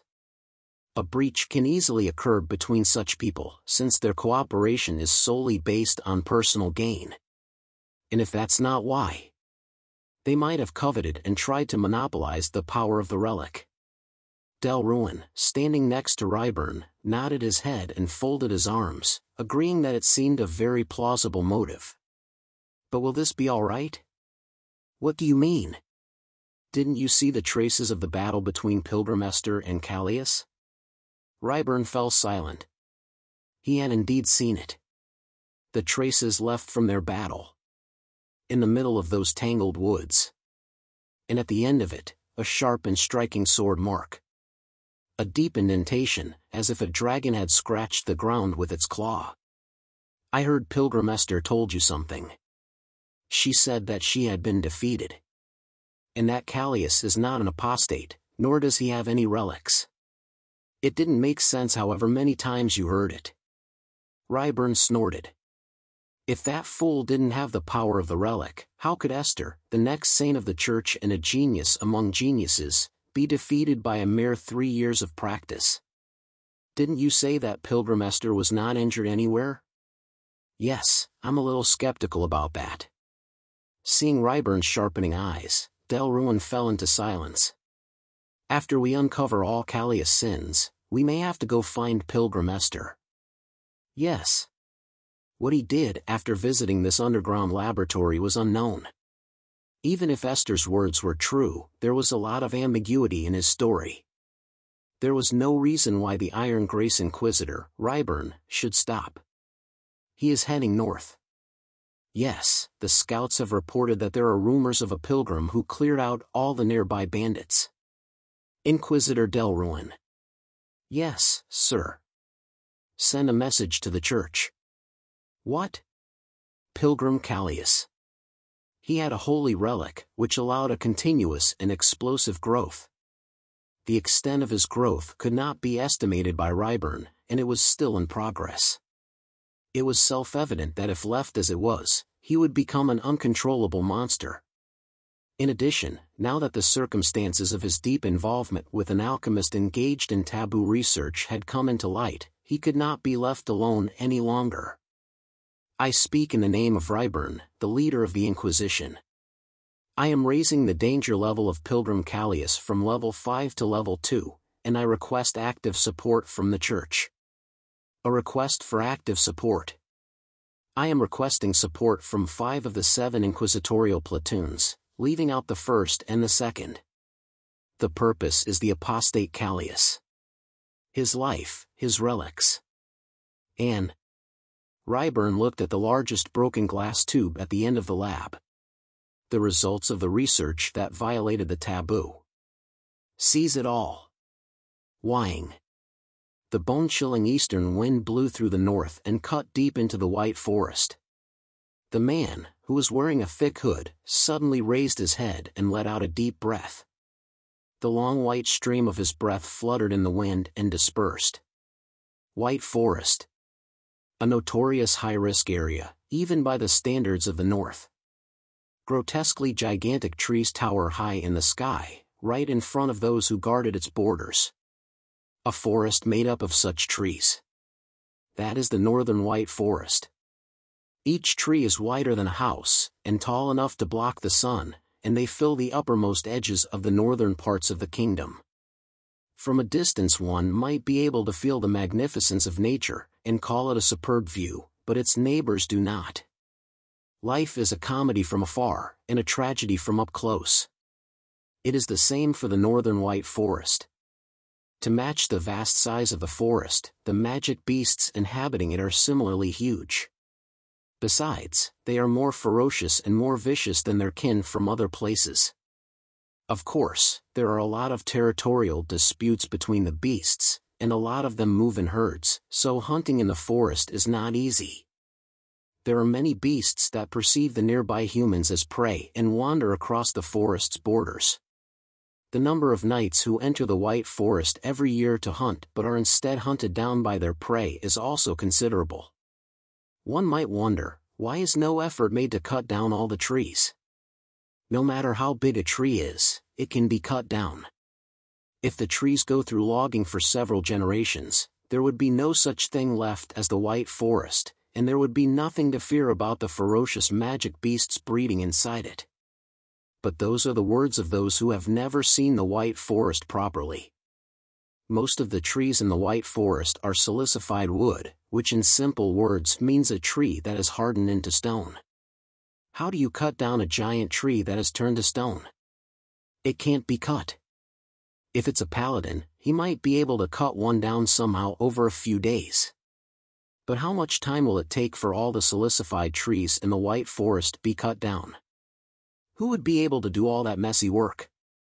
Do those who have worked hard to rise to the position of a paladin want to cut down trees hard as stone for the rest of their lives? That's just nonsense. Therefore, it is Jervain's mission to lead knights and soldiers to hunt the magic beasts inside the forest. Even if you can't cut down the trees, nor burn down the forest, nor destroy the demonic beast's root and branch, even so, in the north, Jervain still stands. It's cold. The man standing in the center of the white forest felt a little nostalgia and boredom when he saw the sword marks on the silicified wood. Three years ago, Callius had been here. Immediately after gaining the status of a pilgrim, he almost died while wandering around without knowing where to go. After organizing his thoughts, he made up his mind to train his body, so he went to the White Forest. No, to be precise, he set out to find him in the White Forest. But why isn't he here? He'd always been here. Although he was a paladin who had completed his pilgrimage, he was a strange old man who hunted magic beasts in the White Forest instead of returning to the church. Bernard. A pilgrim who'd completed his pilgrimage, one who possessed the Thunderbolt sword, Rockin, and had completed the achievement of turning his rosary into a sheath. An appointed paladin, a hunter who never left the north and only hunted the magic beasts dwelling in the White Forest. Callius had visited him here three years ago. Um. You. Who are you? One does not simply walk into the White Forest. The pattern engraved on the speaker's chest was a combination of a gray wolf and a sword. It was a pattern that symbolized Jervain. A knight of Jervain? However, there was no gray in her eyes, and seeing that only a little divine power could be felt, she was a knight who had been baptized but she was holding a carcass. A sword close to a life sword. Can't you hear me talking? Chang. The speaker and the knights who followed her drew their swords as one. The knights' eyes were valiant and their postures dauntless. probably because they were knights of the north, their spirit itself was different from the knights of other places. Such spirit and momentum seeped through the skin and made the blood boil. But Callius did not draw his sword in response. He looked at them for a moment, sighed, and pulled his hood back. Ah! The night captain, giving a small sigh, bowed her head. Immediately, the attitude changed. The stiff neck of the night captain, who had been trying to interrogate him with an overbearing attitude, bended down at once. It was a transformation that highlighted just how great was Jervain's status in the north. I see you are a Jervain. Callius nodded disapprovingly and put his hood back on. He didn't want to show himself, but it was still better than having a pointless sword fight. He was not afraid to fight the knights, but Callius wasn't a murderer. He wanted to avoid any fights, and if he shed blood here, the magic beasts of the White Forest would come rushing in droves. Besides, there was nothing good about killing Jervain's knights. All right then. But, the moment he was about to pass by. Hey, hey! Callius' footsteps stopped at the knight's urgent voice. Isn't it Master Callius? Looking at him without saying a word, the knight captain's eyes filled with certainty. I must be right. So you know me. You don't recognize me? She frowned as at that, then gave a little laugh and took off her helmet. I'm Orphan, who stood by young master when you were young. Orphan Deliaphan. Orphan Deliaphan. The lady who introduced herself like that seemed to be happy and burst into laughter. I don't know her. Seeing her talking about his childhood, it was a memory the current Callius had no knowledge of. You have grown up. Judging by the way she treated him and her words, she seemed to have been a knight in charge of escorting Callius when he was young. It's the first I've heard of her name, it doesn't look like she's an important character. But it's an odd name. If you're even a little familiar, you'd know, but that's not the case at all. We were on patrol. This is a coincidence, but would you like to join me for a while? Sure. You guys wait here. All right. Wying. Buduk. Puduk. Callius and Orphan, who were walking across the white forest through the crunching snow, were talking. Is that so, the Lord has adopted him? Jervain's main family line. The current children of the patriarch were one son and one daughter. One of them was Callius. The only son of the patriarch was an idiot, and one who was even almost expelled from the family, so he needed a new son. Yes, he is not only good at swordsmanship, but he is also excellent in other various fields. Everyone thinks that he will probably succeed him soon. Well... Oh, I made a slip of the tongue. No, no problem. I'm too busy with my life, so who cares? I'm not interested in the first place. It's not some ordinary family, it's Jervain. An area that can fall into danger at any time, not only by threats from the White Forest, but also while defending the vast territory and its borders. Besides, feeding the numerous residents and their dependents living here is not something just anyone can do. It's a daunting task just to protect yourself. I am not a fool, greedy for the job of a caretaker of a barren field. Cheek. Orphan, who suddenly stopped walking, looked at her sword with eyes wet with falling snow. Do you remember? No, I don't remember. Callius was starting to find it difficult to persist against the knight's slow and long-running welcome.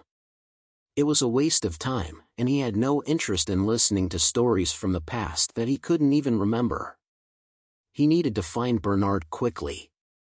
She seemed to have something she wanted to say, but all this hesitation was just frustrating.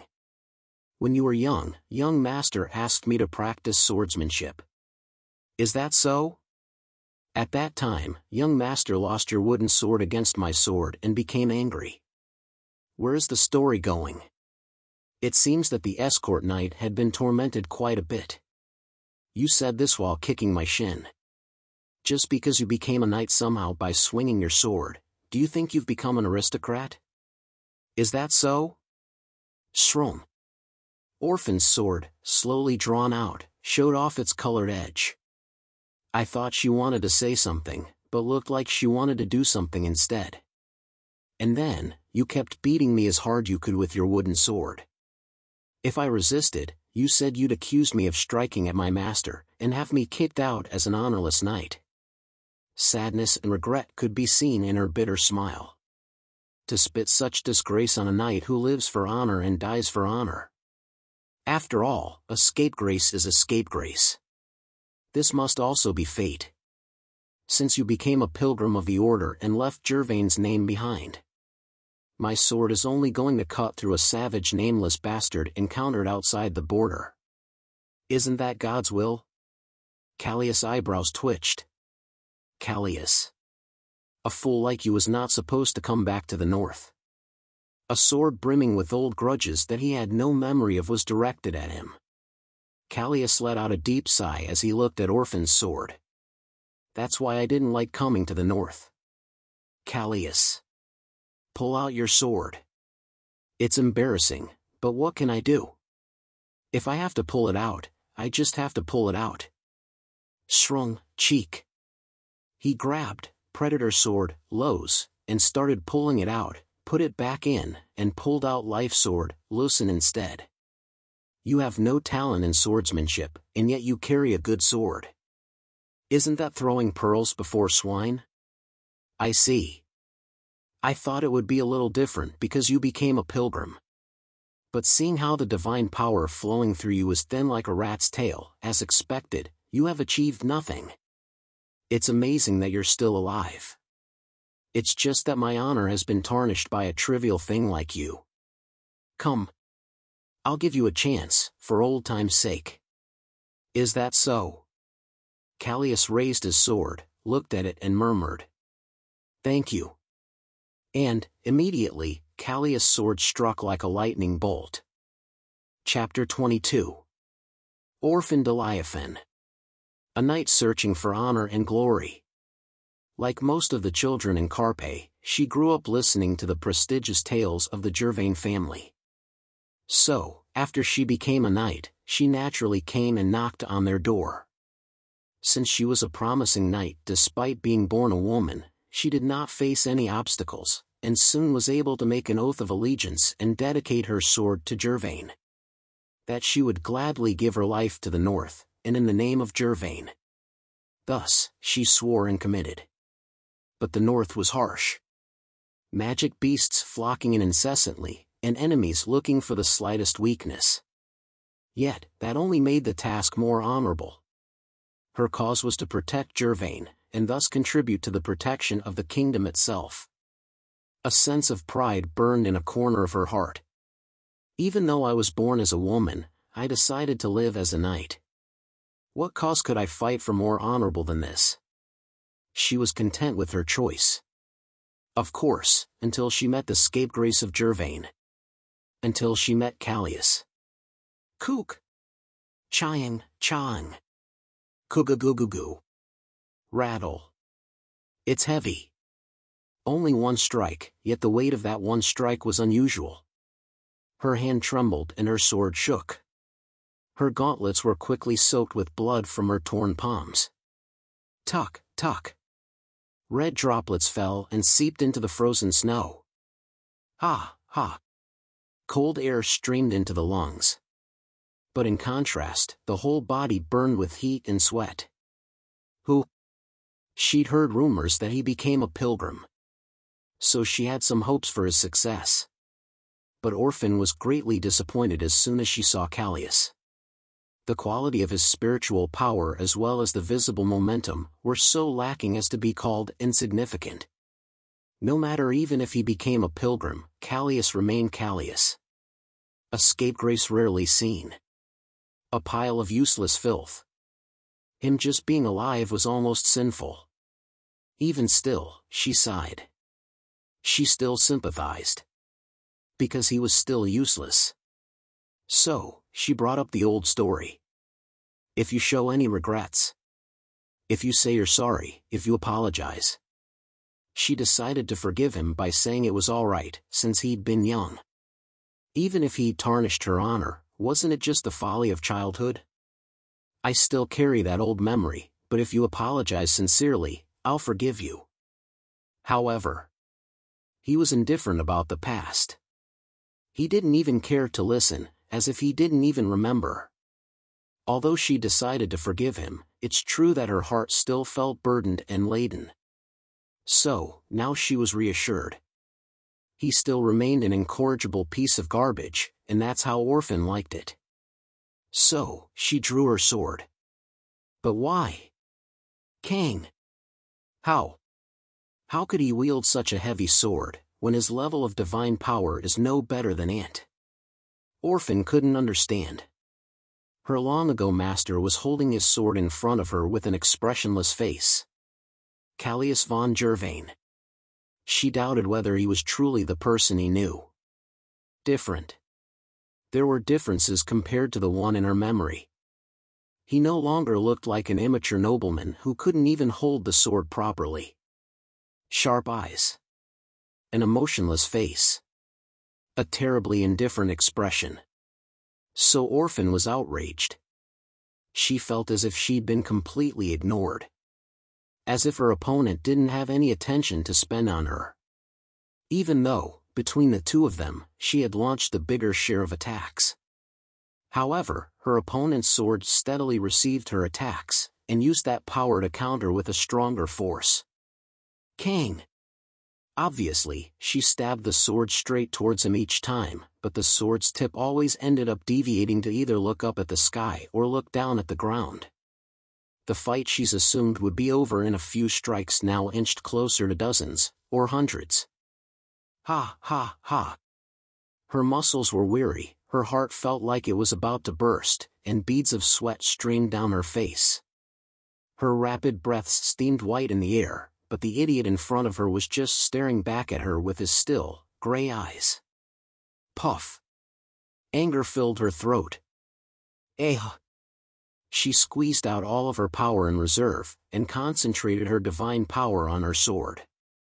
Sword energy rose off the blade like light and fluttered above the knee-deep snow. If it's this. If it's this, it will definitely be able to cross the gap between us and touch him. Hoon. But, then. Wai, Ching. The silver sword that appeared only for a moment filled her eyes with its dazzling light. Wyik, Puk. The sword left her hand and dropped to the ground. Between the two, the torn and shredded sword energies fluttered like petals in the air. Ah! The petals of sword energy danced in the air. The broken silver petals were transcendently beautiful in the sunlight. Orphan, realizing that she was kneeling on the snow, let out a laugh. In front of her, those ruthless gray pupils of Callius appeared again. A complete defeat. It was Orphan's defeat, and an inexcusable one. Kill me. Orphan bowed her exposed neck, defenseless. Shroom. Callius' sword pointed towards Orphan. The premonition of death covered her like a shadow. However. Chwak. She startled. It was an orphan that Callius caught. It was a giant white sand snake. The head of the giant reptile, itself the length of a larger than average snake, rolled in the snow. They seemed to be flocking here because of the smell of blood. Callius, who put Lucen back on his waist, calmly started to quickly walk away. You're just leaving like this. Without ending it. Are you going to tarnish my honor again? Orphan screamed, but the response made her dazed. It was just a practice duel. Do you have to take your opponent's life after a practice duel? Saying that, Callius quietly disappeared into the white forest somewhere. Orphan, who was looking at his trail with a blank face, finally got up and grabbed her sword. Just a practice duel, huh? Smiling bitterly, she soon went back to join the knights who had come to find her. Did he leave? Yes. What did you do? You don't look very good, Captain. It's nothing. Just a practice duel, a quick one. Various emotions appeared and disappeared on Orphan's face. However, that swordsmanship did not leave her mind. That much skill. Did he hide it before? The confused orphans soon led the knights back to Javarsh Castle. A dark night. After spending a day and a half hunting the magic beasts inside the White Forest, Callius arrived at a small inn near the border. He'd looked for Bernard, but couldn't find him. And met Orphan instead. Zzzzzzz. Snores vibrated even outside the house. Bump. When he opened the door, Bruns could be seen sleeping on the bed, snoring. Callius' eyes grew cold. The White Forest was a pretty dangerous place, so he told Bruns to rest here since bringing him along would be bothersome. But seeing him rest so comfortably, he didn't feel good at all. The master came back from a bloody fight with the magic beasts in the White Forest under a raging blizzard, and the servant was sleeping so comfortably. With a full stomach, no less. Bruns. Callius called in a heavy voice. However, there was not even a twitch in response. Rather, Bruns only snored louder, as if asserting even more excitedly that he was asleep. Callius' patience had by now reached its limit. He immediately launched a kick towards Bruns who was still lying on the bed. Puk, bump. Ugh. Which bastard? Bruns woke up and screamed in surprise, but all he saw was Callius, with snow piled up on his head and shoulders. Oh my gosh, you're back. Bruns immediately bowed his head. Callius' eyes were so cold that they seemed to tear into his skin. Bruns arched his back even lower and stepped aside. Why is there only one bed? Ah, oh, that. That's, um. Because there is only one room here. It's a small place near the border, what do you mean there's no room? How come there's only one room left empty? In response to the question, Bruns scratched the back of his head as if he also didn't understand the reason. Ah, yes. I also asked because it was strange. They said it's because tomorrow is a day for hunting. Hunting? Tias. Callius sat on the bed and stroked his chin, deep in thought. I see. Now seems to be that time. Do you know? It's not a big deal. Probably because the breeding season is approaching. The breeding season of the magic beasts inside the forest. Giving birth requires a lot of nutrition, and for the magic beasts the main nutritional supplement happened to be eating humans. Hunting therefore referred to a large-scale hunt for the magic beasts by leading a large army of soldiers into the White Forest, to ensure that no beasts came out and attacked the civilians. I guess knight-errants are coming from all over, so there are no rooms left. Knight-errants who have ambiguous origins or single-mindedly pursue honor, usually set their sights on the north as their destination. However, Jervain is not a family that just anyone can enter, because it stands so high even among the families known for their swordsmanship. So, they hold a hunting contest. For the Jervain family, in any case, there were more benefits than losses. Would you like to eat? Considering how much Master eats. I'll eat at the restaurant. Are they ready? Yeah, I've put a word in advance. Then let's go. Yes. I'll guide you. Is there a need to guide? It was just a three-story inn. It wasn't that big place, you could just go down to the first floor and you'd find the restaurant. My master is here, like I told you before, bring the food. Ah, I'll prepare it for you. Since it was an inn in the north. The owner didn't give off a normal impression either. Although he was bald, the scars on his face and the well-forged arm muscles looked quite impressive. Callius sat down, glancing once at those who were already eating in the dining room. It's annoying. Most of the people here were knights, come to participate in the hunting competition. So, they fought with each other. With his hood on, the others couldn't see the color of his hair and eyes, so they thought he was also a knight to compete with. He was getting tired for nothing because the knights showed off their spirit inside the small restaurant. They're not knights, they're thugs. The aura seemed to be lingering. I can see what you're doing. Oh, there's our meal. Not bad. Bruns knew Callius' appetite well, as he'd seen him eat from up close. The restaurant owner placed dozens of large plates on the table. On the plate, a variety of generous amounts of meat were arranged by portion. And then the main dish. Quan. At the center of the table, an unknown beast, roasted whole. Our famous northern dish, grilled earth dragon. Oh, oh.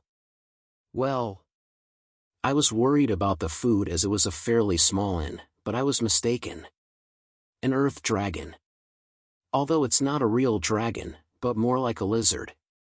Callius' lips curved. Immediately, he picked up his fork and knife, and cut off the hind legs of the grilled earth dragon. The juices splattered inside his mouth.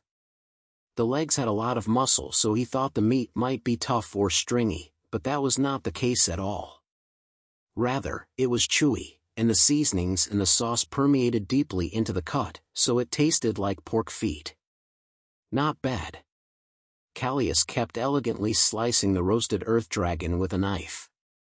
But, brothers, can you eat all of this? I hate my food being left over. What do you think of my lord? Someone who eats like he's carrying a wagon in his stomach. We can even order more, so please relax, Master. Bruns. Yes, Master. Would you like more? Is it better to rip off your mouth or pluck out your tongue? It's your choice. I choose to keep my mouth shut. The innkeeper chuckled. I'm sorry, but please be patient. I just ran out of ingredients. This is enough. Then I'm glad. Ha ha. The owner smiled happily and headed back to the lobby. Kikig. Master, one meal. It was a guest. A man with a big sword on his back. At a glance, he was a strong man, and looking at the traces on his armor, one could tell that he was quite a belligerent one. I'm sorry, but dinner is over. Then what is that? That was the last. Unfortunately, you're one step late. I want to give you a meal, but I can't make any more because I'm out of ingredients. The owner said it was a pity, but he didn't look very sad. The man's eyes turned to Callius and the others, who were eating so sumptuously that table legs creaked under the weight of food. Cheek, cheek. Kikig. Every time he took a step, the wooden floorboard groaned and squeaked. Tias. Hey, you. Can't you see my master is eating? Servants should stay out of this. What? PUK. The knight's fist split the air. Cook. Kudan. Bruns collapsed, smashing against the table, and didn't look like he could get up. However, Callius, who was still eating the earth dragon, did not care. He had gracefully eaten up the flesh of the hind legs with his knife and fork, and now remained the forelegs, as well as the special parts of the grilled earth dragon, the neck and the breast. And last but not the least, the cheek, the most special part of a roasted earth dragon. It was the part he was most looking forward to. Since I'm so hungry. If possible, let's eat together. You do do duck. The man immediately ripped off the earth dragon's head with his hand and began to chew it whole. Callius' fork stopped. Oh, owner. The workmanship is quite good. How delicious is this? Especially, yo, these cheeks are amazing. The eyes that looked at him were full of life. The giant knight seemed to have fallen in love with the taste of the roasted earth dragon, so he spread his hand out again after eating the head whole. He was moving to tear off a foreleg. Then Callius' fork flew through the air. Puk. Cook. The fork pierced the back of the knight's hand. Hey, you crazy bastard. If you want to die, pull it out. Your neck will fly off the moment you pull it out. The knight's throat bobbed high and low under the gaze of those eerily cool pupils. He couldn't pull out the fork or hold his sword, so for a moment he could only look at his hand on the table awkwardly. But the pain made him soon forget the fear. You motherfucker. Pock. He pulled out the fork, threw it away, and reached out to the sword behind his back. But Callius was one step faster. The knife he was holding in his hand moved. Cholkon. The knight's armor fell off. The man was taken aback for a moment, and froze with his hand on the handle of the sword behind his back. Callius had tried to cut the knight's head off with a knife, but he couldn't. He could only cut the seams of the armor, so the huge armor the knight had been wearing fell to the floor. The cause was that an old man pulling his arm from behind him. Tias. The half-naked knight now had cold sweat dripping down from the tip of his chin. Kaha, that hair-trigger temper is still there, I see. Ooh, what a laugh. This old man's throat was almost blown away. If only it did get blown away. By this time, Callius had no choice but to stop eating. The unpleasantness during the meal suddenly became irrelevant. Tias. The old man hauled himself into the seat facing Callius, gasping at the plethora of food. Yeah, you need this kind of a meal to keep your stomach in shape. Did you get money from somewhere? Don't tell me you ripped off that Bolivian woman again? However, immediately, Callius' sword slashed across the table like an agile tiger. Kang! Kig, kikigijig. Sparks flashed like splendid fireworks. Hey, what a great sword! The old man was still sitting at the table, but his sword which received Callius's attack was revealed. A red blade, symbolizing a spirit sword. Contrasting it, the blue lightning flowing through the blade flashed intermittently. Is it just this sword? The owner of the Thunderbolt sword, Rockin, and the only paladin in the north. Bernard. Bernard, the Blue Thunderbolt. Chapter 23 Blue Thunderbolt Sword, Rockin. As its name suggests, Rockin's unique ability is called Blue Lightning. In other words, it is a sword that wields lightning. The Thunderbolt sword, Rockin shows extremely excellent performance among the spirit swords with unique abilities from the elemental family. It doesn't let the wielder manipulate lightning directly, so it's not possible to do things like calling lightning from the sky, or to shoot a targeted lightning bolt from the sword. But even so, the advantage of a sword overflowing with lightning is enormous. Most knights would just be electrocuted to death from one touch. Of course, the effect can vary wildly based on the presence or absence of divine power, but Rockin's unique ability is a huge advantage in battles where one instant can decide life or death. And if you push yourself a little, you can even launch AoE attacks a specification that can compete with any other sword of the same rank. On top of that, a sword with versatility. That's the Thunderbolt sword, Rockin. It's been a while, you scapegrace. It's been a while. Bernard. You've kept my sword well all these years. Seeing Rockin, I feel more at ease. Callius had been coveting Rockin since three years ago. Other swords could not be found or made with the skills he had at the time, but the Thunderbolt sword was different. An elemental family spirit sword famous for its power even among the same grade. The Thunderbolt sword that wielded lightning. If anyone heard you, they'd think you gave it to me for safekeeping. They sat with their swords facing each other. Bernard smirked as he was again hearing something absurd. It'll be mine soon.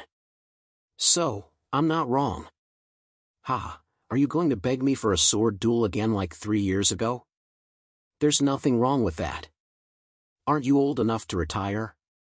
How about you calmly hand over Rockin, and go spend the rest of your life comfortably sitting on the porch or whatever old people do? Things were not the same as before. Callius felt more confident now. All sorts of possibilities ran through his head.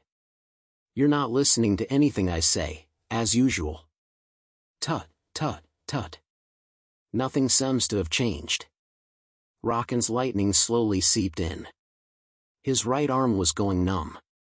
However, in his elixir field, a bud of the six peak flowers technique was slowly unfolding. damage was being mitigated by the rising divine power. Callius' momentum, which had till now been masked by Vivi's bracelet, suddenly grew like a torrent. His pupils flashed silver, and the same color dyed the edge of his sword. There was a deep curve now at the corner of Bernard's lips. Looks like you didn't spend all that time in vain. Guess there are quite a few hidden cards. Stop your meaningless chatter and just give me the sword. It's better for Rockin to be in my young hands than in your old ones. Even the sky isn't as high as your arrogance. Chiang. Wyack. Callius' sword bounced off as Bernard twisted his body sharply. And his sword fell like a thunderbolt. I can't block this. Bang! Callius immediately kicked the table to push himself backwards. Quajic! Chwak! Bernard's sword split the table in two as it rushed in. Jijijic! The sword was dyed blue. Lightning flashed. Instantly, Bernard seemed to disappear. Callius' gaze turned upward. Bernard, holding his sword with both hands, emerged from the air as if he'd been hiding in it, and fell upon Callius like lightning. Quagwang. One of Bernard's specialties. Called, the lightning strike. Cook. The floor of the restaurant exploded as if a real lightning bolt had struck. Blue lightning streaks fulminated in all directions like a spider's web, chasing him down like a hunter chased its prey. Chwak. Callius blindly cast a silver sword strike to drive out the lightning. Swike. But Bernard's lightning broke through the deflagration to target him again. Kigajig. Quang. Callius barely escaped with his neck by raising his sword and making Rockin minutely deviate its trajectory. Rockin's thunderbolt exploded on the wall behind him in a devastating manner. Just with that residual blue lightning. The blackened logs on the wall were cracked open and the snowstorm outside whistled into the room. What is that ominous sword? Against Thunderbolt sword, Rockin, there were now two swords in Callius's hand. In his left hand was Lucen. In his right hand, he held the Predator sword, Lowe's which had blocked that final strike from Rockin. If it had been a little later, Rockin's red blade would have cut Callius' neck. Who? Wyack. Tass. Bernard did a somersault to dodge Callius' sword and landed on the table that had been split in half. The smell of blood on that sword is far too thick. It will drive its wielder to a frenzy. Then give me Rockin. How can I do that? I have a bond with this sword that has accompanied me for so many years. Shrung, cheek. Callius, who put Lucen back to its sheath, now tightly clasped the predator sword, Lowe's with both hands. The bud of the six-peak flowers technique has bloomed. The highly pure divine power that was unique to it spread through Callius' body. Quickly. Holding the predator sword in a grip so tight as if to break it, Callius' eyes started gleaming silver. Soon, the sword energy signifying the silver flower wave sword rippled on Lowe's blade. It has to end in one blow. If you drag it any longer, Bernard with Rockin will have the advantage. Callius no longer had any hidden cards, but he still believed in one thing. Six peak flowers bloom in late season, silver flower wave sword. Remember the duel with Esther. The sword that had been swung out of a moment's enlightenment. He had defeated a genius with that single sword. So, I will see that scene here again, once again. Kwong, he stomped on the floor hard as if trying to break it.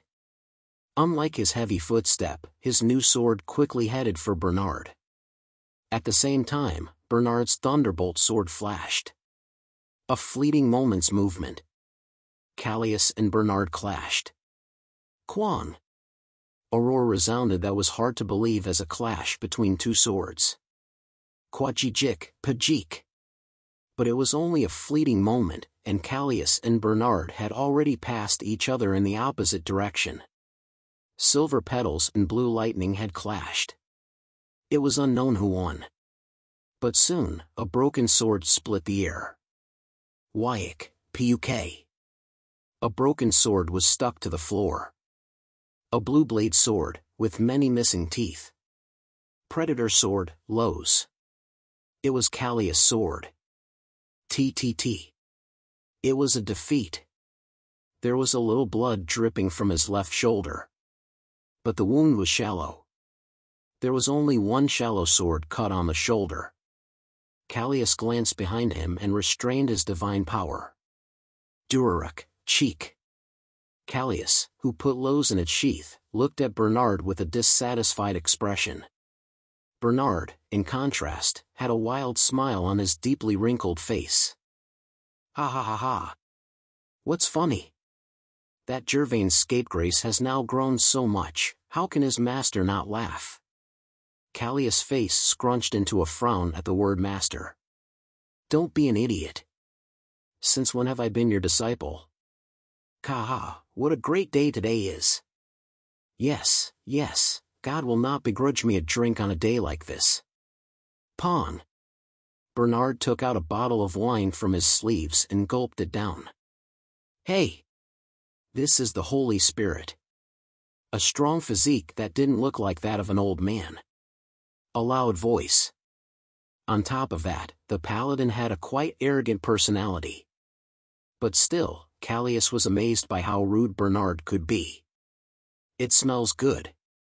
However, that striking wine fragrance brushing past him was enough to captivate Callius' senses.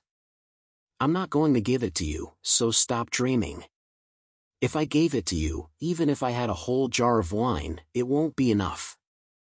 I didn't even ask for it. He thought it was a pity in the depths of his heart, but Callius did not have any regrets. Bernard, so you were hiding in the corner all along. Who was that guy just now? As a teacher, I had to gauge how much my disciple has grown. If you'd just been wasting time, you were going to get a spanking. However, Bernard was satisfied. Surely, Callius got stronger. It's like he's a different person compared to back when he couldn't even hold a sword properly. Bernard struggled to hide his trembling hands and brought the bottle to his mouth. Ka. However, you failed to take my sword this time too. Scapegrace. My name isn't Scapegrace. I know, I know. What parent in the world would name their child something like that? But it's not the parents who give somebody that kind of name, but themselves. The old man was very good at twisting his words around. Callius asked, looking at him with a blunt gaze. What do you want to say? If fighting is the best teacher, wouldn't I be your teacher more than anybody else? It was quite difficult to avoid beating you to death, when you were trying to fight me for rockin' every day. You know that, right? TTT. Of course. How could I not know? Three years ago. Approaching Bernard had been extremely intentional. He was the most affectionate and righteous among those who could become teachers for the players starting at Carpe. Not just his skill or talent, but his ability to teach others was also extremely excellent. In the first place, his status and traits were all specialized for teaching others. So, as soon as Callius became Callius, he looked for Bernard. If you learn from him, no matter how dull you are, your sword skills will inevitably sharpen. Due to Callius' crooked personality, I never treated him properly. For three years, it was quite troublesome because of the traits of mania and nobility that were engraved on the body. Bernard had been patient with him, but it wasn't the first time he'd been humiliated by Callius' temperament, which popped out from time to time. At first, I almost died. It had been quite eventful, but now in this world, the only person that Callius could trust would be Bernard. His only master. Outwardly he persisted in his stubborn denials, but in his heart, he regarded the old man as his master. The traits of a maniac and the pride of an aristocrat struggled against that feeling. Callius. Bernard's eyes changed. Callius breathed out a sigh at the sight. Whenever I have a fight with you, I always stake my life. His life, he says. This is your defeat again, so you have to grant me one request. Don't make me do weird things. I won't do anything bothersome like going to a strange ruin to get you alcohol. Callius wanted Bernard's sword. So Bernard had a duel with him a few times. But it was always a defeat for Callius. Whenever that happened, Bernard gave Callius an errand. No. That'd be too easy for you now. I won't do something that unfair. Then what is it you want this time? Have you met Emily? Do you know Emily? She's a kid with a lot of stories. Her divine blood seemed to have been blocked. But how could that happen to a child from Jervain? He'd been skeptical, but then ignored it. Because it wasn't important. Is it something to do with Jervain? Yeah. A hunting contest will be held in a few days. Fatalite's Wheel. You should participate there. You mean? Yeah. Join there and protect Emily. Fatalite's Wheel. In the past, to this place had come Fatalite, a saint and a paladin of the order. There was a word she'd spat out after a fierce battle in the northern White Forest. A wheel. She'd said that the White Forest was like a great wheel that turned without end. After saying those words, she'd disappeared, and in the Jervain family domain, when the beast's breeding season approaches, a hunting contest is held in the name of Fatalite's Wheel. The original purpose was to find the missing Fatalite, but now, hundreds of years later, it has become just an annual event to reduce the number of beasts. If you give me rockin', I'll think about it. Heh, you're still a long way off. You bastard. Bernard didn't even mention why Callius had to protect Emily or why he cared about the child. But since he had asked, Callius had no reason to refuse. Bernard, who came like a thunderbolt, drank all the alcohol and then calmly disappeared, leaving Callius silent. After a while. Gok. I, master. Are you okay? This Bruns is fine. Bruns, who suddenly came to his senses, ran to him and responded to questions that hadn't even been asked. Callius looked at him with tired eyes and opened his mouth. Bruns. Yeah, yeah. Master. Just say it. I'll deal with that pig bastard. Master won't even have to lift a hand. Said the guy who fell over in one hit. He was so weak that it couldn't be overlooked any longer. It looked like he needed some training. Wipe your nosebleed. It's ugly. Ah. Yes, yep. He. And get ready. Ah, get ready for what? Fatalite's wheel. The doom of the North casts over you its deathly shroud. Survive. Reward? Chapter 24 Kieg he passed the gates of the Javarsh and entered the chapel. It was late at night, but there was a man in the chapel, with his back to the moonlight entering from the door. The chapel's door was still open this late at night. Sook. He finally saw the man, who'd turned around, face to face. Despite wearing a noble attire and an easy smile on his face, that strong physique couldn't be covered up. Bernard's eyebrows twitched for a moment as if in annoyance, but only for a moment. The bosom of God is always open. But why is the next successor of Jervain here at this late hour? The man was the adopted son of Count Jervain, often mentioned as the next head of the household, who'd come back from the border. Calivan von Jervain. Apart from the current patriarch, he was the highest authority within the Jervain family. Bernard. I want you to join us on the wheel. He said that he wanted to participate together in the upcoming hunting competition, Fatalite's Wheel. The breeding season was approaching, and soon there would have to be war against the magic beasts flooding in. The hunt needed to happen before that occurred. Didn't I tell you last time? Calavan. The Lord asked me to protect Javarsh. Father is really being unkind to keep a paladin like you cooped up inside the castle. Even if an old man goes and wields his sword, how long can he keep it up? I'd be lucky to not get swept away by the wheel. Bernard waved his hand and laughed. However, Calavan made a sour face as if he wasn't going to give up easily. Bernard. As you know, I have to prove myself on this Fatalites wheel. And I have to show my son and daughter that they need to not be ashamed of their father. Sounds possible enough. No. It isn't. Calivan asserted.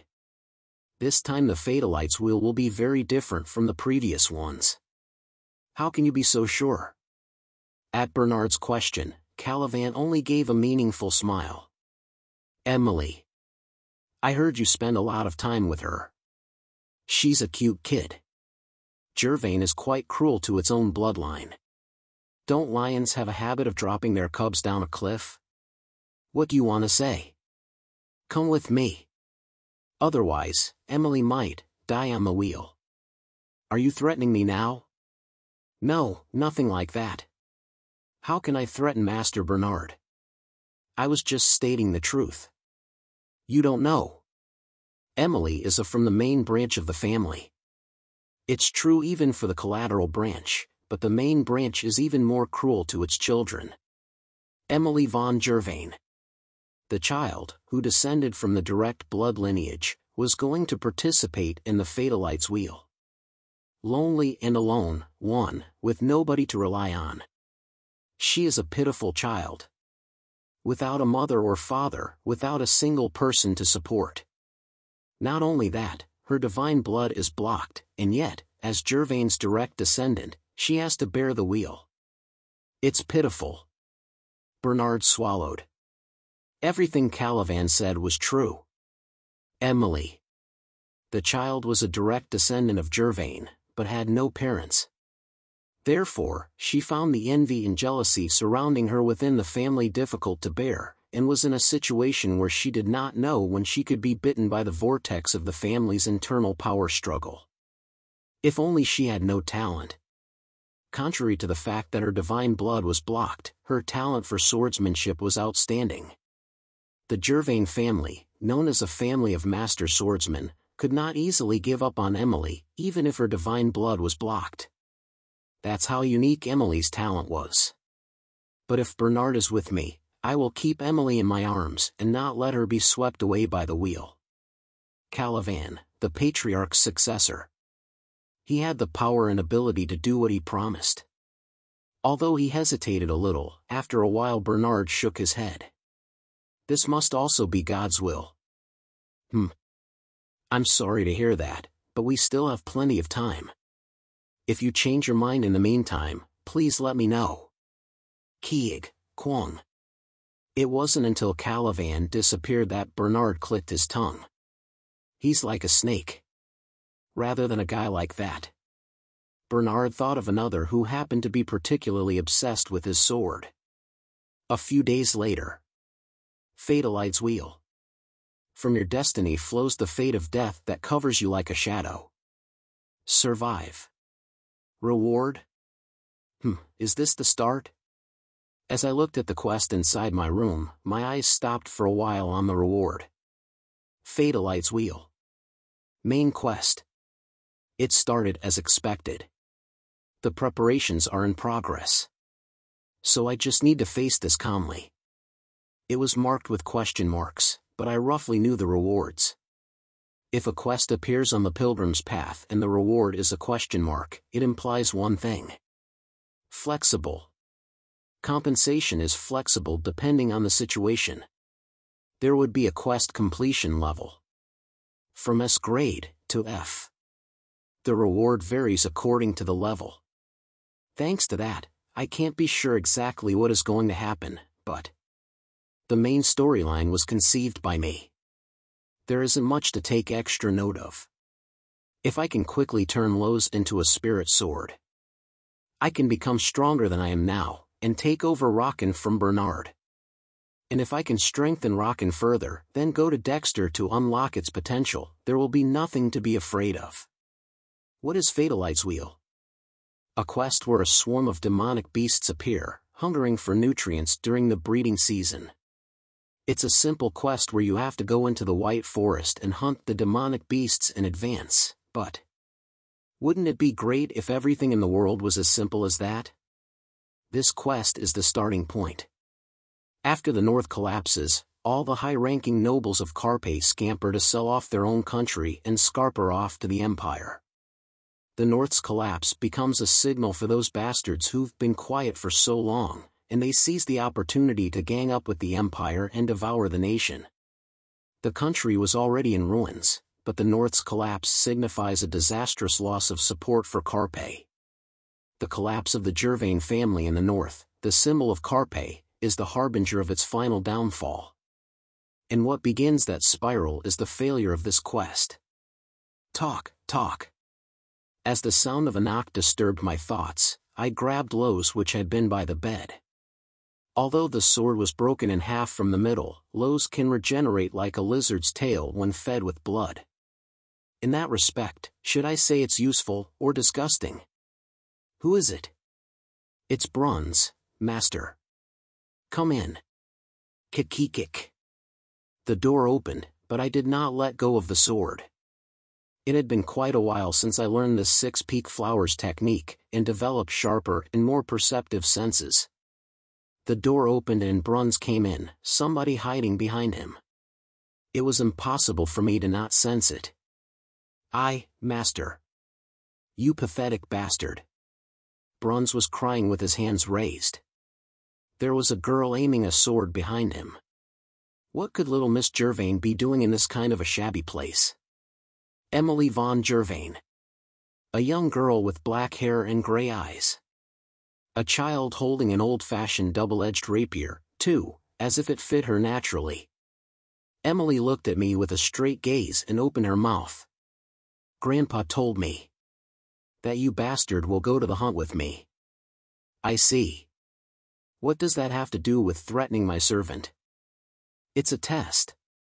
Of course, this servant that looks like a smashed potato is disqualified. Who's a smashed potato? Heek. Bruns, who had been about to refute, raised his hand even higher at the sharp prod in the back. You're being threatened by a kid like that. How useless. I, master. Save me. I shook my head. So, Am I disqualified? I'm going to test that now. How are you going to test? Just as I was about to say that, Emily's rapier pierced the gap between us. Quick like the lightning. Arm outstretched. Lower body firmly stretched out to exert the maximum possible force. All of that combined to create a sharp sting that could not be expected from a child. Swyek. Teak. You're cheeky. I pinched the tip of Emily's rapier between my index and thumb. This level should have been enough for the bandits.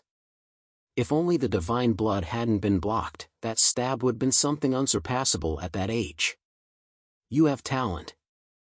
She was a smart and clever child, but she also had an extreme talent in swordsmanship.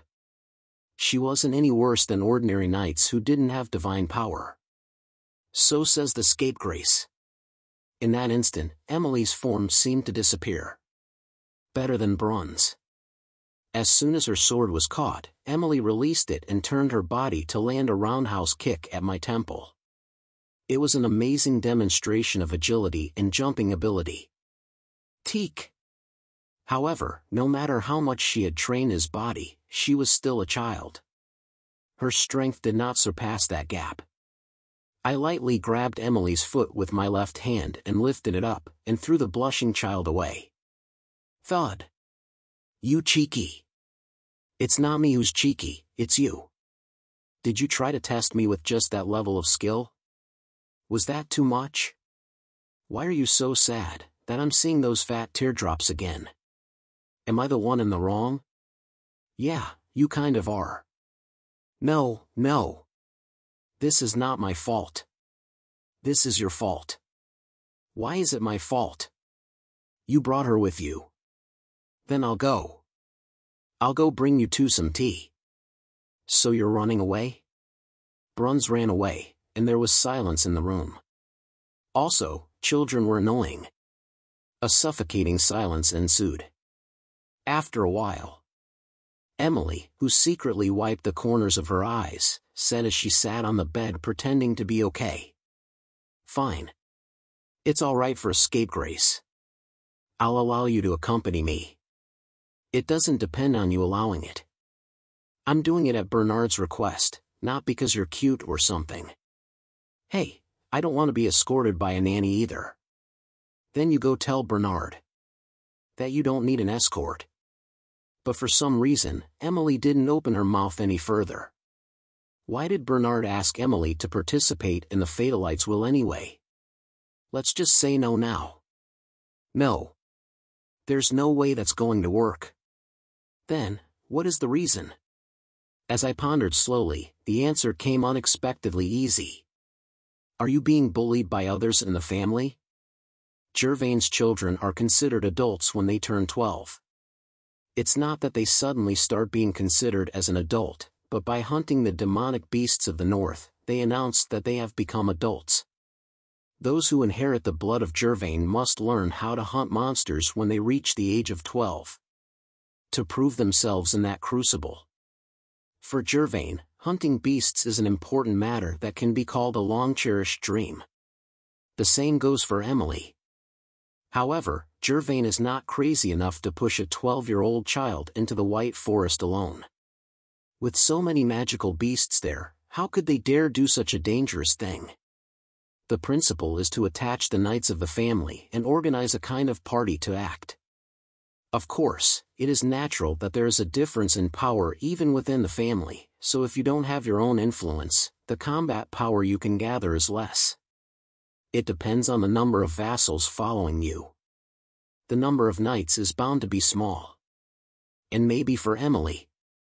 It is clear that she would have even fewer knights than that. Otherwise, Bernard, who clearly knew who I was, would have never made me do this. As if trying to stab me again, Emily's eyes started a little sharply at me. They're all just scared of me. I'm pretty, smart, and I'm good at swordsmanship. So that's the answer. You don't have parents? I must prove myself in this hunting contest, otherwise. I will be killed. Wait, what? Killed? What do you mean? The man who will be the next head. Calivan von Jervain, will kill me. Are you talking about that collateral branch who was adopted? Yeah. Why will the man who will become the next head kill you?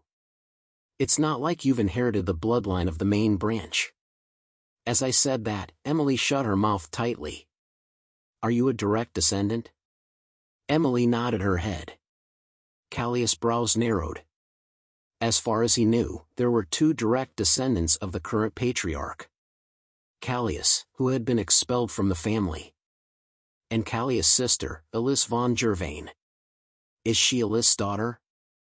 But that wasn't possible. Callius' younger sister, Elise, was already not in the Jervain's domain, and it was unlikely that she would have had a child. Then all that was left was Callius. I am 26 years old. Then I would have had to have an accident when I was only 14 years old. That doesn't make a lick of sense. No way.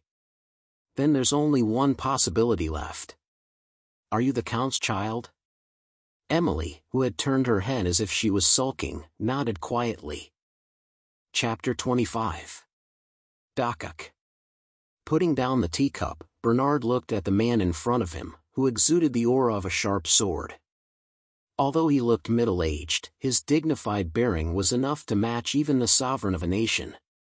The supreme ruler of the north. Elberton von Jervain. He was Count Jervain, Thank you for agreeing to my request. Nonsense. Shouldn't I even listen to this much if it's the Master of the North who's asking? But, what is the reason for keeping me in Javarsh? The hunting competitions during Fatalite's Wheel 1 do bring a lot of benefits to Jervain. But it's not always beneficial. You seem to have something in mind. It's just an old man worrying. The Count didn't explain but Bernard seemed to know what he was thinking. Are you suspicious of Calivan? Jervain's name holds that kind of weight. If they harm the family, even my own children must die. Anything that endangers the survival of the North, must face my sword. Whatever it is. That is the only way to safeguard the family, the North, and the country itself. Such is the Jervain patriarch's way of life. Since the old days, from the founding of Carpe, Jervain has existed and will continue to exist in that manner. One of them was kicked out, and the other one left the family on her own two feet. However, I still have to protect Jervain, and I still have to protect the North. So I have to be careful. He was suspicious of Calivan. Exactly what he suspected was unknown, but Bernard could guess that it wasn't something favorable to Jervain or the North. Then Emily. When Emily's name came out, the lines on the Count's forehead deepened. That child has also inherited Jervain's bloodline. It is inevitable. Are you just going to leave things as they are? That child can't even properly use her power because of the problems with her divine blood. Even so. It's not just her bloodline, even Emily's hair and eyes are completely Jervain's. I can't be seen to favor one side over the other. At the Count's stubborn words, Bernard let out a deep sigh. Then Emily will die. She hasn't even seen the flowers bloom yet. There's no way he will leave Emily, the only direct descendant of Jervain's bloodline, alone. Even you, Count, can't pretend that you don't know. Death is surprisingly fair and natural. You may die at the age of 10, or you may die at the age of 20. Death is a common and universal providence of nature. If you are weak, you die quickly, and if you are strong, you may live long. It might have sounded cold, but both of them had been immersed in the harsh battlefields surrounded by savage swords for far too long. Therefore, Bernard could not refute the Count's words despite his deep sense of urgency. So, he took a different track. Callius is in the north. The Count's hand holding the teacup trembled. The tea surface rippled and swayed, and a drop of black tea dripped down the cup's side. He is no longer a Jervain. But the blood does not lie. I entrusted him to escort Emily. I think you did something useless. I'd heard that he became a pilgrim. Even so, what would have changed if that scapegrace became a pilgrim? he'd be lucky to not get caught up in the problems of this wheel. A meeting between a genius who can't use her divine power, and a trash swordsman. Count Jervain couldn't help but laugh at the absurd combination. The Count shook his head and stood up from his seat, turning his back and approaching the window. It was a signal to leave. Bernard got up from his seat as well, adding a last word of encouragement. Your son has changed quite a bit. It won't be long before my sword is taken away. This will change a lot in the north, looks like. Kick, thump.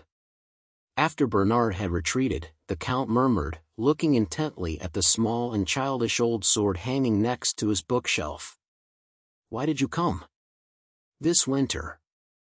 It's unusually cold, enough to make me shiver to my bones. After the interview with the Count, Bernard returned to the chapel to watch the red sunset. As many thoughts collided and interlocked in his head, it became heavy. When he woke up, staring listlessly at the ground, the night was already deep. However, his feet again wandered to the inn where the one in his thoughts was supposed to be. It's Bernard, right? Um, yes, do you know me? You're the one who destroyed my inn, so how can I not know? Ha ha. Ah, that's right. Come to think of it, I didn't even compensate you for it.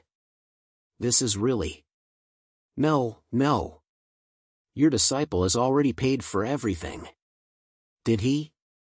Bernard grinned at the mention of Callius. Did you come to see your disciple? That's right. So? Yeah, try going up. They went and bought some stuff from outside, then went up after eating dinner. Thank you.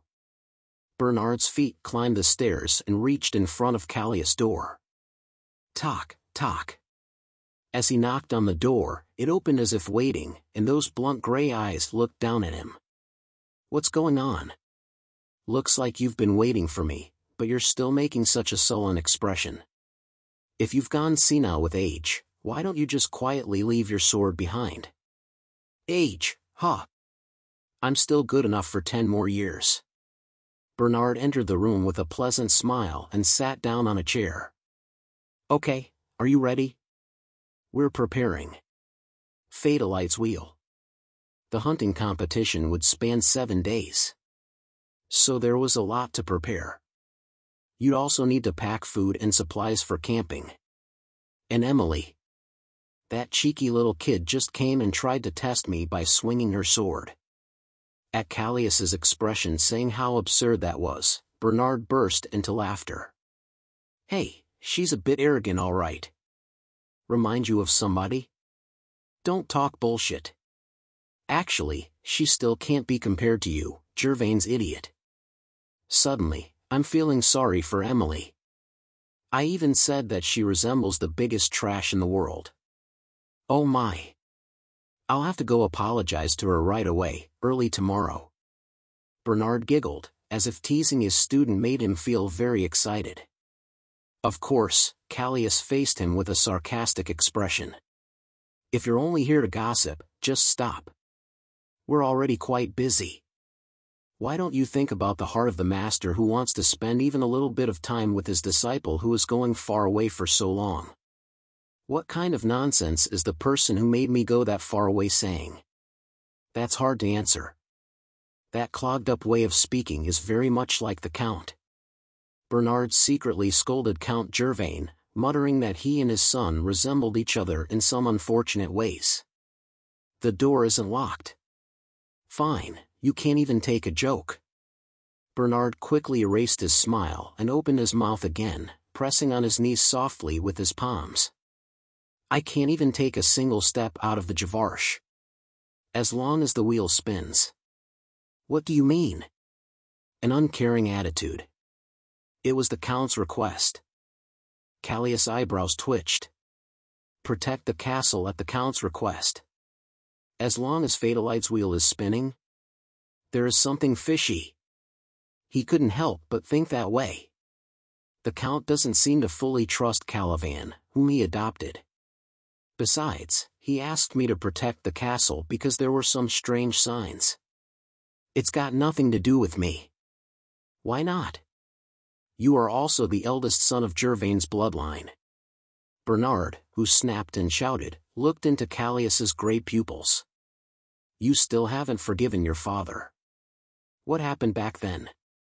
Bernard's mouth twitched in hesitation and stilled. It was probably a good thing. Heh The Count must fulfill his mission in his own way. His destiny leaves him no other choice. It has nothing to do with me. Fine. Bernard shook his head at that stubborn attitude. Three years ago. Bernard and Callius were wandering the north. They spent most of their time in the White Forest hunting the magic beasts, but they weren't the only ones there. It was because Bernard wanted Callius to accumulate a lot of experience. It was my fault. However, because of that greed, Callius met a person he did not need to meet and was seriously injured. He must have been angry that his son who had been kicked out was still wandering around the north. Still, the Count was a bit too harsh back then. Bernard sighed and clicked his tongue, thinking of Callius and the Count. At that time, what happened was due to his own greed, so Bernard had a sense of obligation. After that, Callius went on his pilgrimage alone, and Bernard entered the castle by himself. Even though he used to be the one who never left the White Forest. Then protect Emily too. Why do I have to protect the Count's hidden child? Isn't she your sister? I'm not from Jervain. Bernard let out a sigh. However, this time he stayed stubborn. Think of it this way. Have you ever seen your teacher tell you to do something wrong? It's all going to be helpful to you, so get along with that child. Who the hell is with that kid? She's going to be important to you too. So, don't be silly and just follow what I say. Druck. Callius glanced at Bernard standing up from his chair. Are you going? I've said everything I had to say. Bernard, grabbing the doorknob, looked back at Callius and frowned. Then he took a deep breath and shook his head. I'm going. No need to see me off. I wasn't going to. One day you'll be struck by lightning, too, dot. Come. Bernard snorted and left the inn. It was snowing heavily outside. Cough, cough. The corners of Bernard's mouth, after a few heavy coughs, became moist. Gathering some falling snow with both hands, he wiped his lips and started moving again quickly.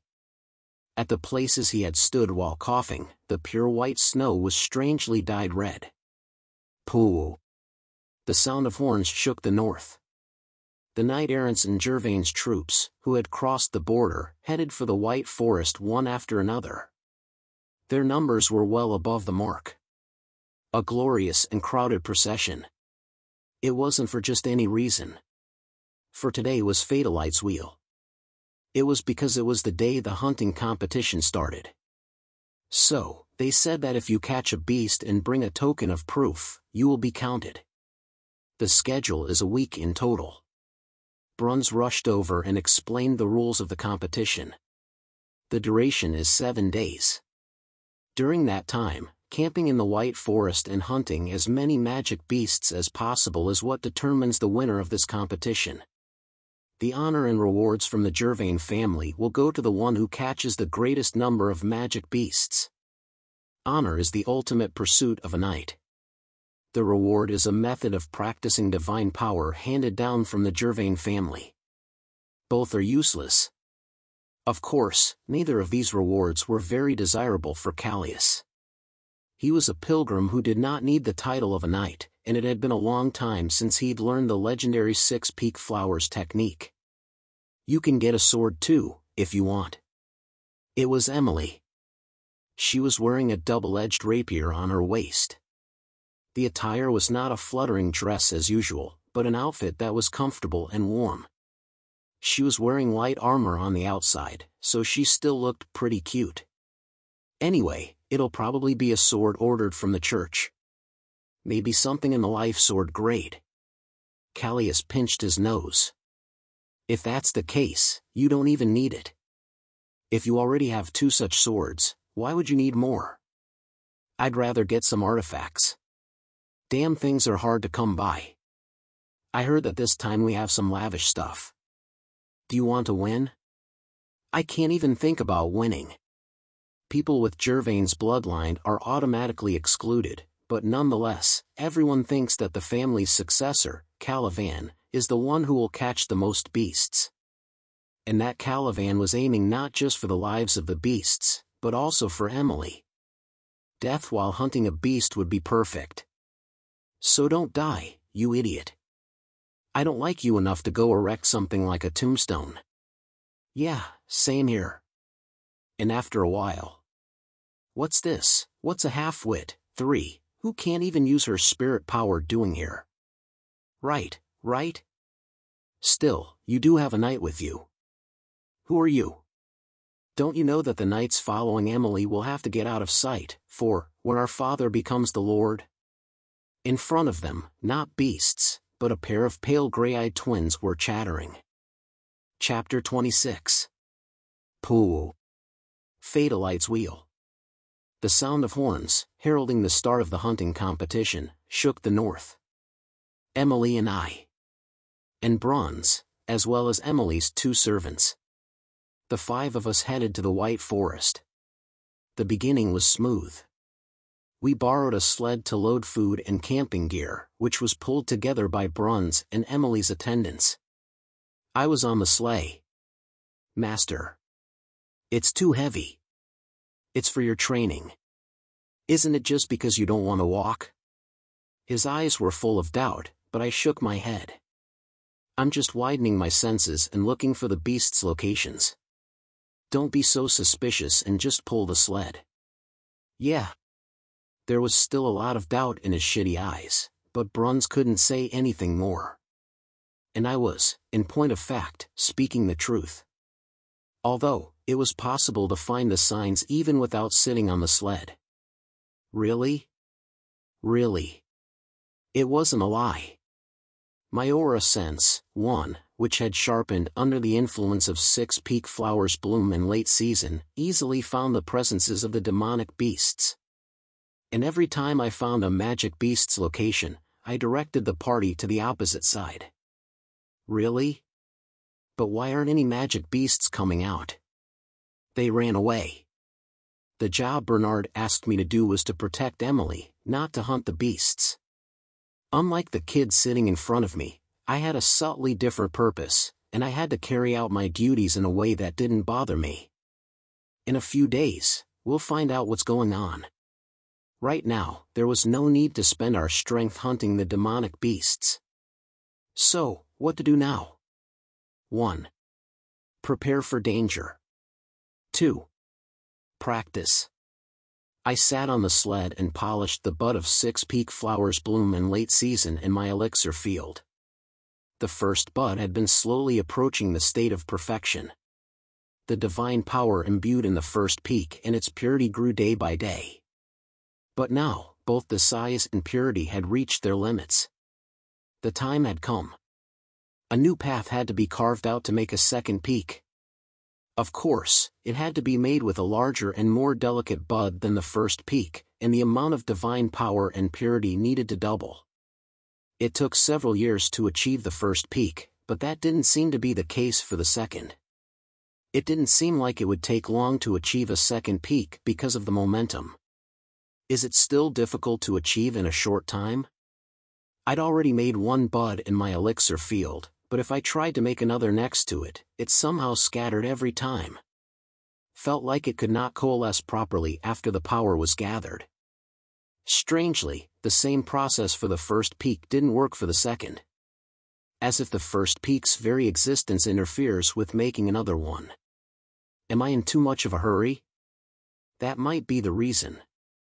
My spirit quality is only at level 4.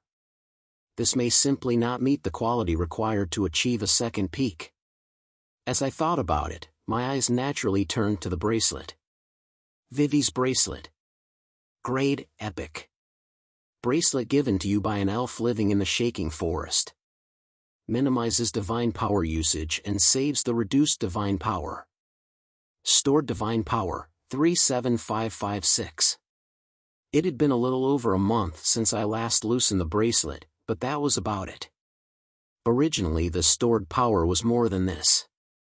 However, as time passes, the divine power contained in the bracelet fluctuates wildly, increasing and decreasing in turn because of the issue of purity. Vivi's bracelet circulates its collected spiritual energy by itself, and in the process, a lot of impure spiritual energy is expelled. So, even after a lot of time has passed, the gathered divine power is only at this level, but the quality has improved instead. If I take this off, I might be able to open a second peak. But that's just a guess. It's a bit embarrassing to test. Fatalite's wheel. I don't know what's going to happen this time. And, of course, in addition to the bracelet, there's also the sacred stone. Whenever I have some spare time, I take out the sacred stone and feel the saint's divine power imbued within, so if I just give it a little time, I should be able to make some progress in the six peak flowers technique. Fatalite's wheel. The shadow of death emanating from fate covers you like a shroud. Survive. Fatalite. Referring to an inescapable inevitability decreed by fate. In the northern white forest, the word fatality is more appropriate than fate, or destiny. In addition, there are a total of two tribes here for whom the word fatality is appropriate. One is Jervain. Another one is across the white forest. At the edge of the north. What's this? What's a half-wit who can't even use her spirit power doing here? Right, right? Still, you do have a knight with you. Who are you? Don't you know that the knights following Emily will have to get out of sight when our father becomes the Lord? In front of us, not beasts, but a pair of pale gray-eyed twins were chattering. Riven, Renee. Emily's eyes, who had been looking anxious about why she couldn't find the beasts, turned cold. Riven and Renee. They were fraternal twins with dark hair and gray eyes, similar faces but different sexes. These are the children of Calivan, who people think will be the next patriarch. Right. One of Emily's attendants came up to me and whispered. I'm not really curious, so why are you telling me? Taking a peek, the servant's expressions weren't that good either. Why? Ha ha. Renee. Look at Emily's attendance. You don't have any tokens with you, so you haven't even managed to catch a single beast so far? Is that true? Really, Emily? You haven't caught a single one in this white forest teeming with magic beasts? Or maybe you didn't have time to catch one because you were busy running away? Ha ha. Actually, it'd be strange if Emily the half-wit did catch one. Those impolite kids just kept chattering. The twins Riven and Renee are feuding with Miss Emily. Without me even asking, Emily's maid with brown hair whispered beside me. Judging from the tone of voice and her facial expression, it seemed that the attendants didn't like them either. Of course, I had nothing to do with it, so I just watched. Orphan is there too. Orphan, one of the knight captains, seemed to be escorting the twins. She glanced at me and bowed slightly. Last time you tried to kill me, did you change your mind a bit? Or is this the bare minimum courtesy? But this is still pretty good. Would you like to see the game we caught? Who spoke was that girl with the ponytail, Renee von Jervain. Next to her was the naughty-looking boy, Riven von Jervain. They looked to be about 14 years old. No, I don't need to, because, you see? Don't you have to know what the beasts look like before you can catch them? Rinny and Riven took Emily's hands and showed her what she didn't want to see. The proof of catching a beast is its nose and ears. Or you can simply cut their head off, so Riven and Rinny had cut the beast's head and put it on a dedicated cart. Voila! How is it? Isn't it great? We had a hard time catching it, you know? It was so fast that I almost got eaten in one bite. The head of the beast on the cart was quite huge. It was a wolf beast with strong jawbones and sharp fangs, big enough to swallow Emily in one gulp. You'll never catch something like this, right? It'd be great if you don't pee your trousers because you'll freeze the moment you meet one, right, Renee? You're right. Even I froze for a moment and couldn't move. Emily, if it were you, you would have definitely peed. Seeing Emily's rotten expression, the twins looked thrilled. But Emily's reaction was no fun at all, so the twins' eyes soon turned to me. But who are you? A knight errant? Riven and Renee asked, but I did not care to answer. There were many reasons for not answering, but the reason that accounted for the largest percentage was because of annoyance. Whatever the status of these little Jervain kids, whatever the circumstances, I basically didn't like little children. Besides, these cheeky little noble types, especially. Oikophobia? Hating my own kind? That might be it. Ironically, the trait of a fool is to recognize others who are the same type of fool. Emily, your follower is so cocky. He doesn't even answer our questions. That's right. How cheeky. Perhaps the child's patience was not as long as I thought, because Riven drew the sword from his waist first. A long sword suitable for children. Did you catch a beast with a sword like that? Without a drop of blood on your clothes? The twins' faces contorted as I laughed out loud. Are you kidding me? Is that bastard laughing at my sword now? My brother's honor has been tarnished. You're in big trouble now. Even a child has honor now? What kind of honor do they have, exactly? There was nothing for it but laughter. Come down from there. Are you looking down on us when you're a mere knight errant? That's right. You came to the north to get a job? But you ended up escorting Emily. It's so stupid. There's no way you'll get any benefits escorting a child who has nothing. Are you stupid? Emily was quiet. She was looking at Callius, just to see what he would do. Bruns, who should have already stepped forward and made a loud ruckus by now, was also quiet. Callius was hiding his identity and was in charge of the escort, so Bruns was forcefully putting up with his itchy mouth. Reluctantly, Callius got off the cart and stood in front of Riven. You cheeky bastard. You have to pay for the crime of ruining my honor. He was a pretty aggressive kid. Perhaps it was his trust in Orphan and the knights behind them that made him act so frivolous. Besides, he must have been used to recklessly swinging his sword with his identity and Jervain's name behind his back. Callius clicked his tongue, pulled something out of his pocket and held it out. A fork? It was his favorite fork. Fuck. Hey. Are you insulting me? Emily turned her head as if she couldn't contain a burst of laughter, and Riven screamed in outrage, thinking he was being insulted. I don't have anything smaller. You dare to insult Jervain's Riven, and you think you will survive? Brother. Show us what you got. You have to win. Okay. If you're mocking me with something like that, you should be prepared to lose an arm. Riven's sword swung. Hmm. He raised his physical ability with the divine power he had cherished since childhood, and maximized its efficiency with Jervain's divine power training method. Thanks to that, Riven's sword showed something different from the movements of a child. A swordsman's poise, perhaps. Strength. Speed and the divine power, too, all were beyond that of a child. The heavy sword, too, style unique to Jervain, nimble yet weighty. While stepping lightly, Riven was wielding a sword that felt so heavy. That arm, I'll take it. Callius' arm. There was only a fork in his hand. Riven had no doubt that his sword would cut off the man's arm. The moment the sword came into contact with the fork, Wayik.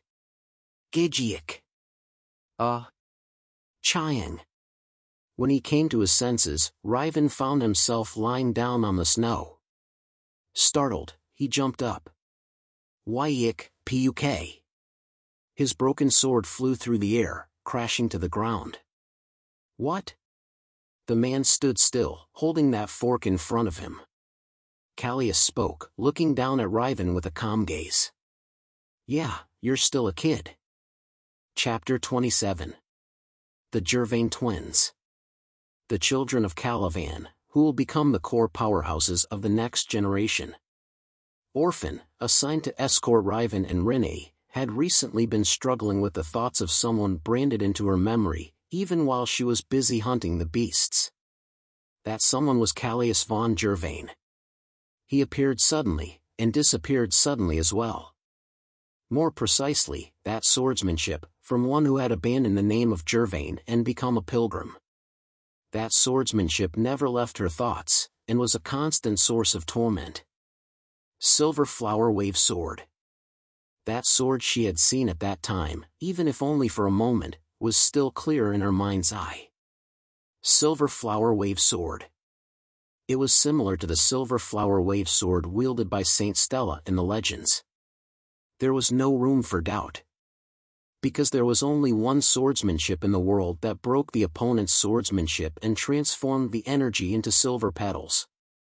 How could a scapegrace wield that sword? Besides, that sword. No matter how great a sword art may be, if the skill of the one performing it is poor, it ends up mediocre. But that wasn't the case for Callius. He had the strength worthy of that swordsmanship. And right now. Orphan saw Callius holding the fork, and was convinced. He must have hidden himself on purpose.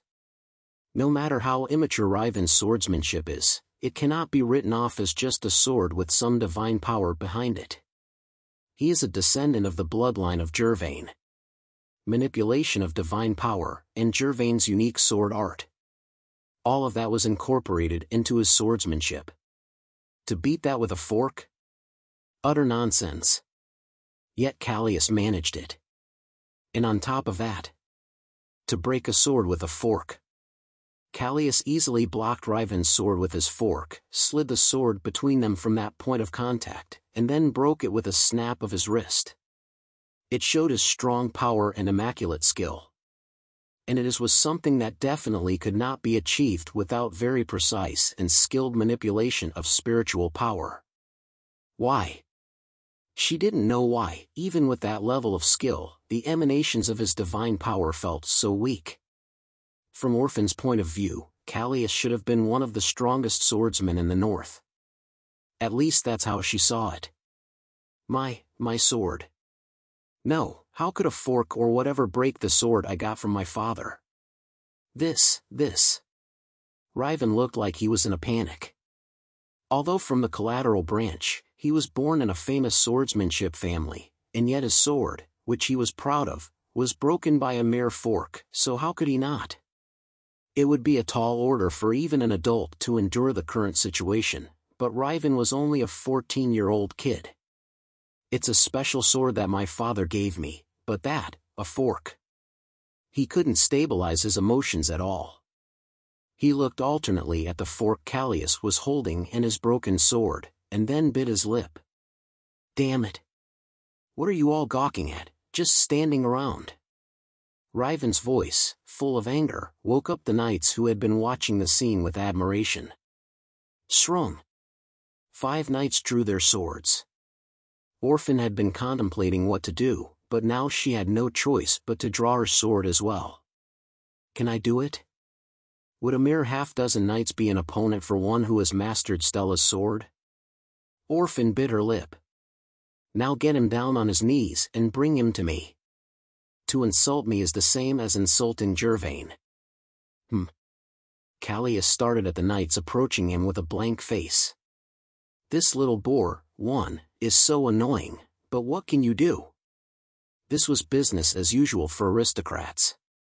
Callius glanced at the approaching knights and put Emily behind him. The girl was holding her stomach, sniffling as if she'd seen a funny show. Now you'll have to see blood at the climax. Stop.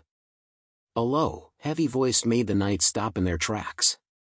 Soon, the snow-covered bushes swayed and sprinkled snow, and a good-looking man appeared from between them.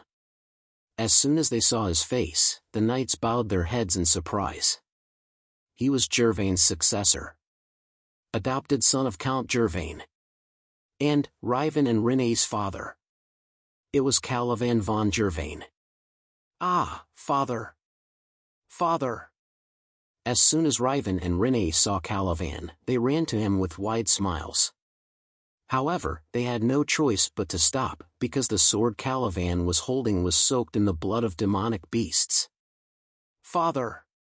He insulted me. That's right.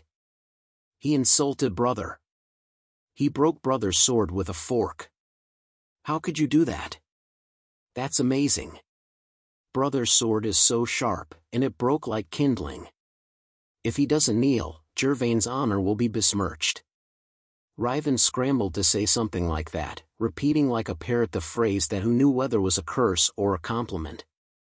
Calivan wiped the blood off his sword and asked Orphan. What's going on? That is. After a while. Hearing about the course of events, Calivan looked at Callius with curious eyes. And then proposed. Will you swear allegiance to me? Ah, father, that's, what? I'm a person who puts talent above anything else. I don't know what you're looking for or why you got involved with the wheel, but whatever you wish for, I can make it happen. I have that power. Everyone was surprised by Calivan's sudden suggestion. Emily was the same. CA dash, Master Calivan. Emily moved to stand in front of Callius in surprise, and opened her arms as if trying to ward Calivan off. An attitude like screaming, never. Emily. Calivan looked at Emily and narrowed his eyes. He is my escort. Emily. I'm sorry to tell you, but the choice is not ours. If you have any pride as a swordsman, you should respect his choice. Ignoring Emily, who was hesitating and speechless, Calivan turned to Callius who was still wearing his hood. Even if my son's sword was held by a child, it wasn't something to be broken by a fork. So, if it was a fork that broke the sword. No, there was no need to see more of Callius' skills. It's sudden. There is nothing sudden.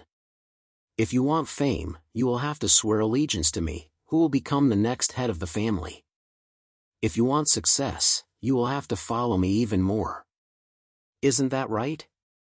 There was nothing wrong in what he said. The adopted son of the present Jervain patriarch. The Count's successor. On top of that, his swordsmanship skills were excellent and his leadership skills were exceptional. He was a caring father to his children, and had a broad enough heart to hold the loyalty of his knights. If it had been an ordinary knight errant, no matter how much Emily tried, it would not have been easy to refuse his offer. I refuse but that wasn't the case for Callius. As if he didn't expect to be refused so curtly, Calivan's expression distorted monetarily, but then it again returned to a soft smile. Can you tell me why? I seek neither fame nor success. Because they are not necessary. Looking at Callius retreating back, Calivan asked again. Then what do you want? Sword. A stronger sword. Saying so, he led Emily and her attendants away. Looking at his back disappearing into the woods, Calivan licked his dry lips. Ah, father. He insulted me. Riven. I don't know what kind of honor you've lost, but this time, you'll have to endure it. Why? That man is not a knight. Then what is he? A stronger sword. It has only one meaning. Calivan said, stroking the hair of his son who had questioned with innocent eyes. Perhaps, a pilgrim. Taddock, Taddock. Even the bustling white forest had become quiet by the time moonlight fell. Around a small bonfire, Callius and his companions sat and rested after a brief refreshment. Why did you do that? Sighing, Callius looked at Emily, whose eyes were fixed on the bonfire. What do you mean? The fork. You didn't have to do that to Riven. She was asking about what happened before. Callius thought for a moment, then threw a piece of wood into the bonfire. The level of that kid was about perfect for a fork. That's all? That's it. A lie. Riven and Renee. The two's tendencies were well known to Callius. The two were notorious as Jervain's little terrors when they were young but given a few opportunities, they will come to their senses and become great knights. There was one such route. I know because I created several possible routes. Besides, Riven and Rinne were meaner than I'd thought, and I didn't like how they were behaving.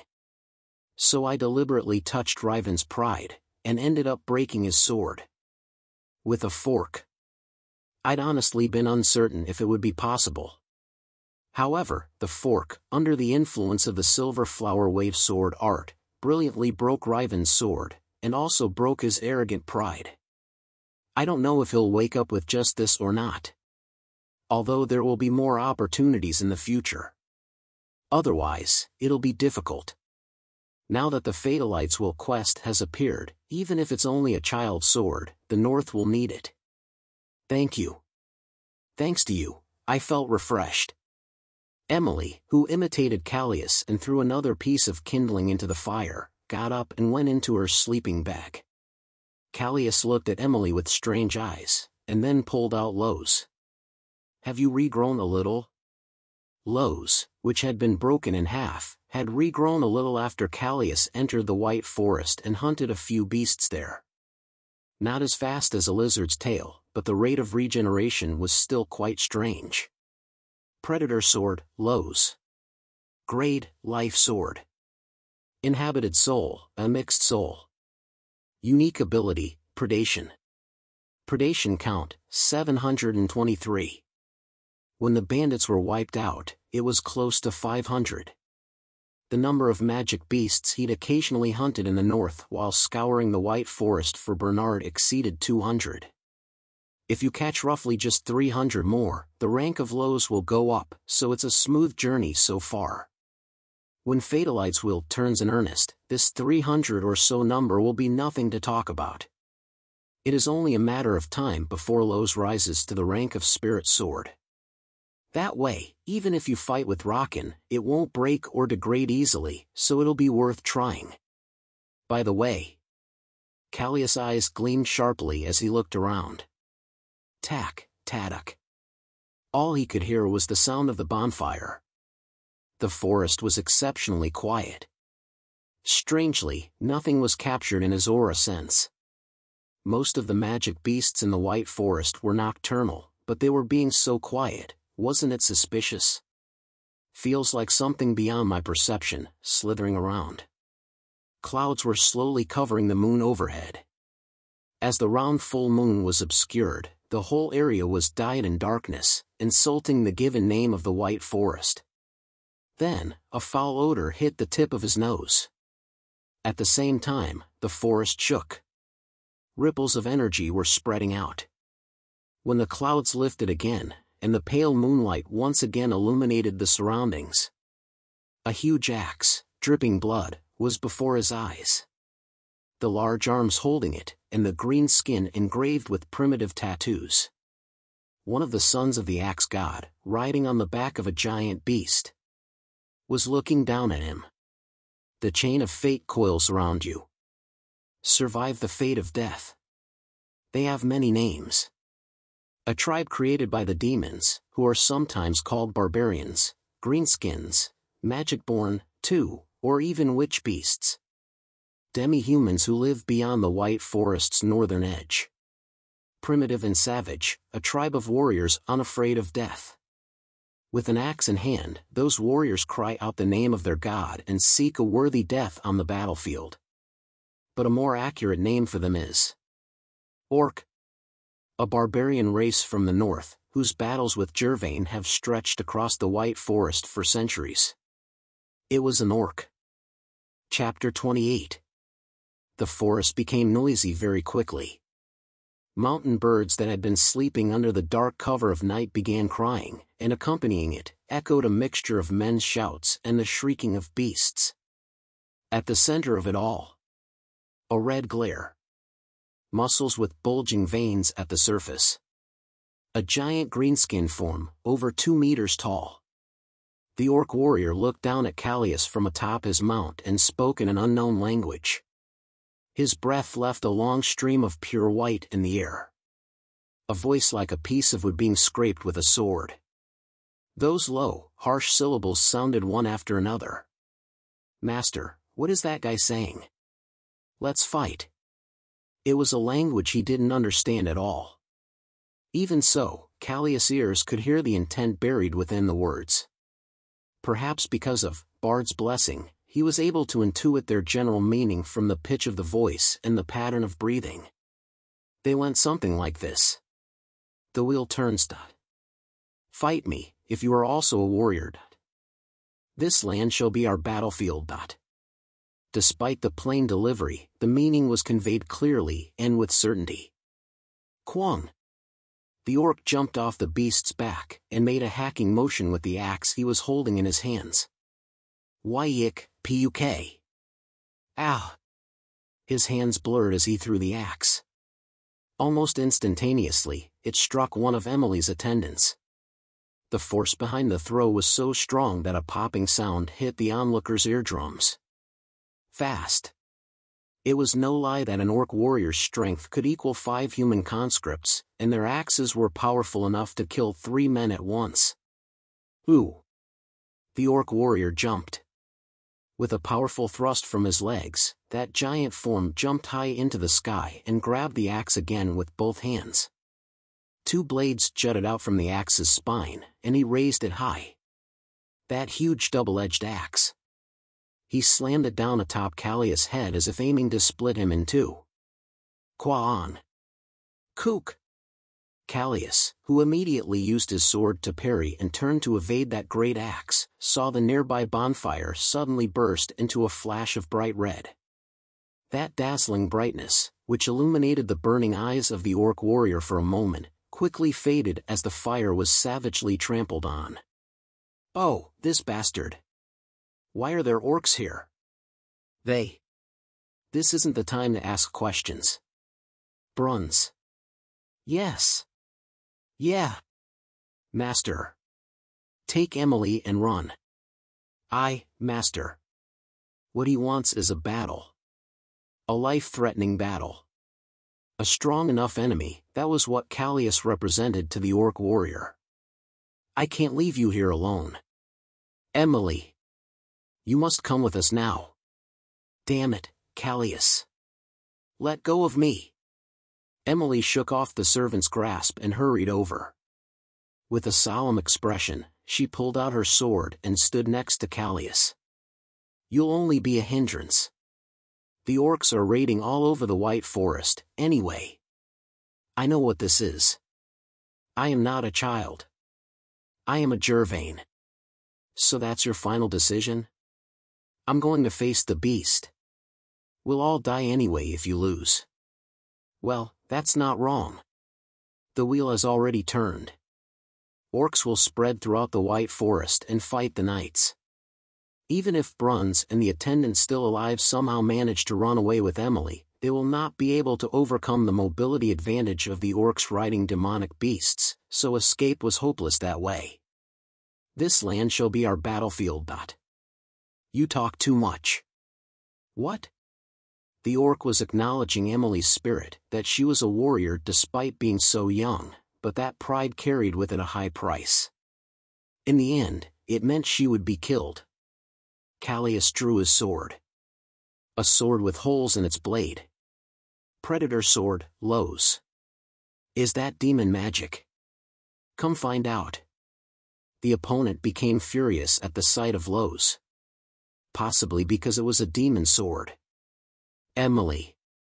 Yeah. Don't act first. If you can, watch quietly like a mouse. Unlike me. You have talent. Toss. Quan. Emily staggered at the booming shockwave of a sword and an axe colliding. However, that was not the end. A series of sweeping sword attacks followed. Callius' sword appeared like dozens instead of one, and the orc's axe that opposed it was the same.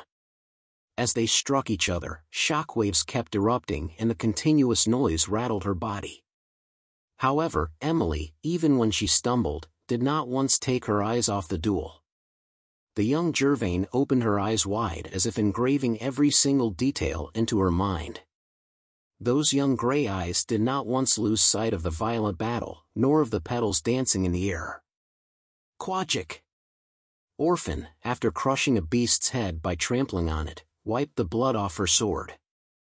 Looking to the side, she saw Calivan observing his bracelet and occasionally touching it with his index finger. Each time, the bracelet sparkled. As if it was a signal. Orphan's eyes narrowed for a moment. Master Calivan. Um, Orphan. How's the situation? We have to evade, and quickly. I told you the beasts were behaving strangely, but it's actually an attack by the orcs. Attack by the orcs. This was an unusual omen. Historically, they weren't usually the type to use such a large-scale tactic for launching a surprise attack. Above all, why make a preemptive attack in such haste? It couldn't be ignored. They had to return to the castle immediately to report the truth, then start a counterattack across the whole front. Only such immediate action could restore the spirit and status of the North. Well, true enough. But for some reason, Calivan's expression was still calm. As the successor of Jervain's bloodline, he should have been furious at the orcs. Many of the knights hunting the beasts in the White Forest died due to the attack, and those who remained were still fighting.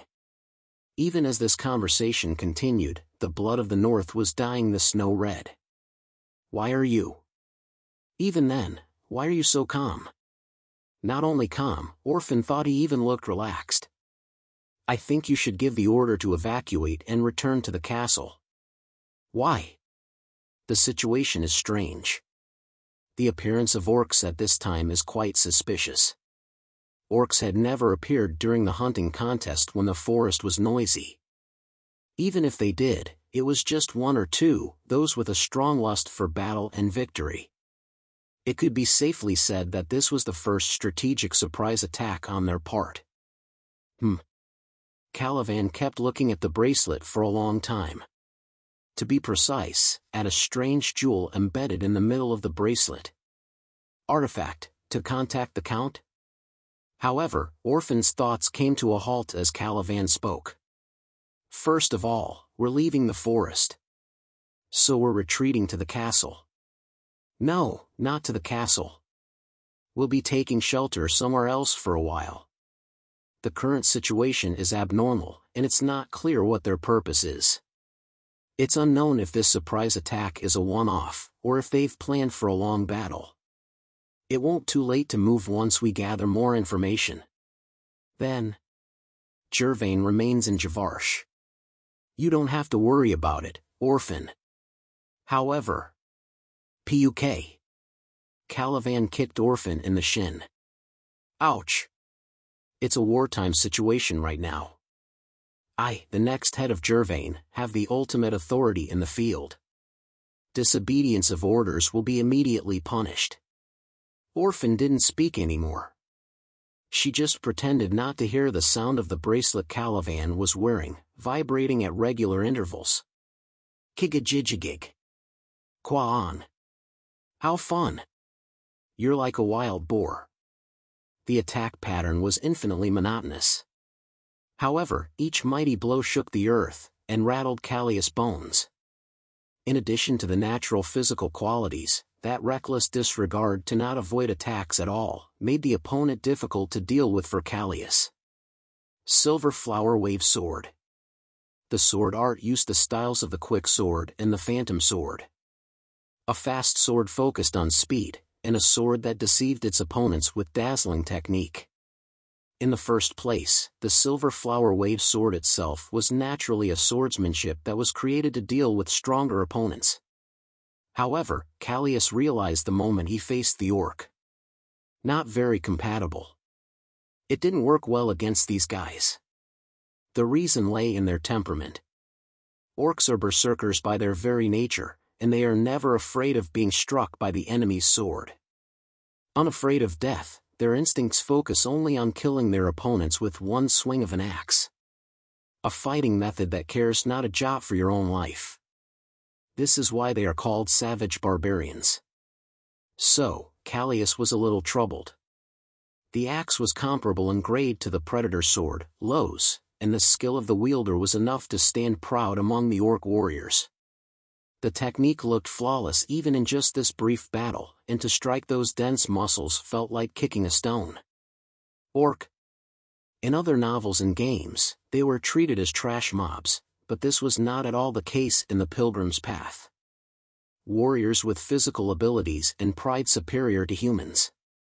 A heteromorph race that wanders the battlefield like deathless immortals in service to the axe god, Kuanta. Such were the orcs. Ugh. Chiang. Chiig. Callius, as he was being pushed back, shrugged and retreated. I can't let the fight draw out. Even if they were in the middle of a fight right now, other orcs might arrive any time. Time was not on his side. He had to win the duel in a flash. The six peak flowers technique was blooming in his elixir field. As the first peak unfolded like a rising sun, the pure divine power spread throughout his body. With each step, his momentum accelerated. Tot. Tot. Pong. Die. The orc warrior's axe hacked down overhead, accompanied by a joyous roar. Naturally, Callius also drew Lo's and unleashed a single sword strike. Kwaan. The orc warrior's axe struck Lo's down. Even so, a flash of embarrassment spread on the face that had been smiling full of joy. Lo's was only the bait. In Callius' left hand, life sword, Lucen was held in reverse. Chwak. Leaving Lo's to drop to the ground, Callius swung Lucen and cut off one of his opponent's legs. Then the sword straightened and arrived at the orc's neck. Great dot. There was no fear in the eyes of the orc who said so. All there was, was regret. You too. Sook. Callius stretched out his hand against the fallen orc's carcass. However, only for a while. His gaze stopped in the air. Fatalite's wheel. Avoid the fate of death that flows from your destiny. Survive. Stop the attack of the orcs. Number of orcs killed, 1. Reward, F, dash. It doesn't change if you catch just one. It was pretty hard, though. Callius looked at the orc warrior's corpse, reached out his hand again, but then retracted it. I need to save my energy. No matter how powerful the bracelet is, you never know what will happen. There's nothing wrong with being careful.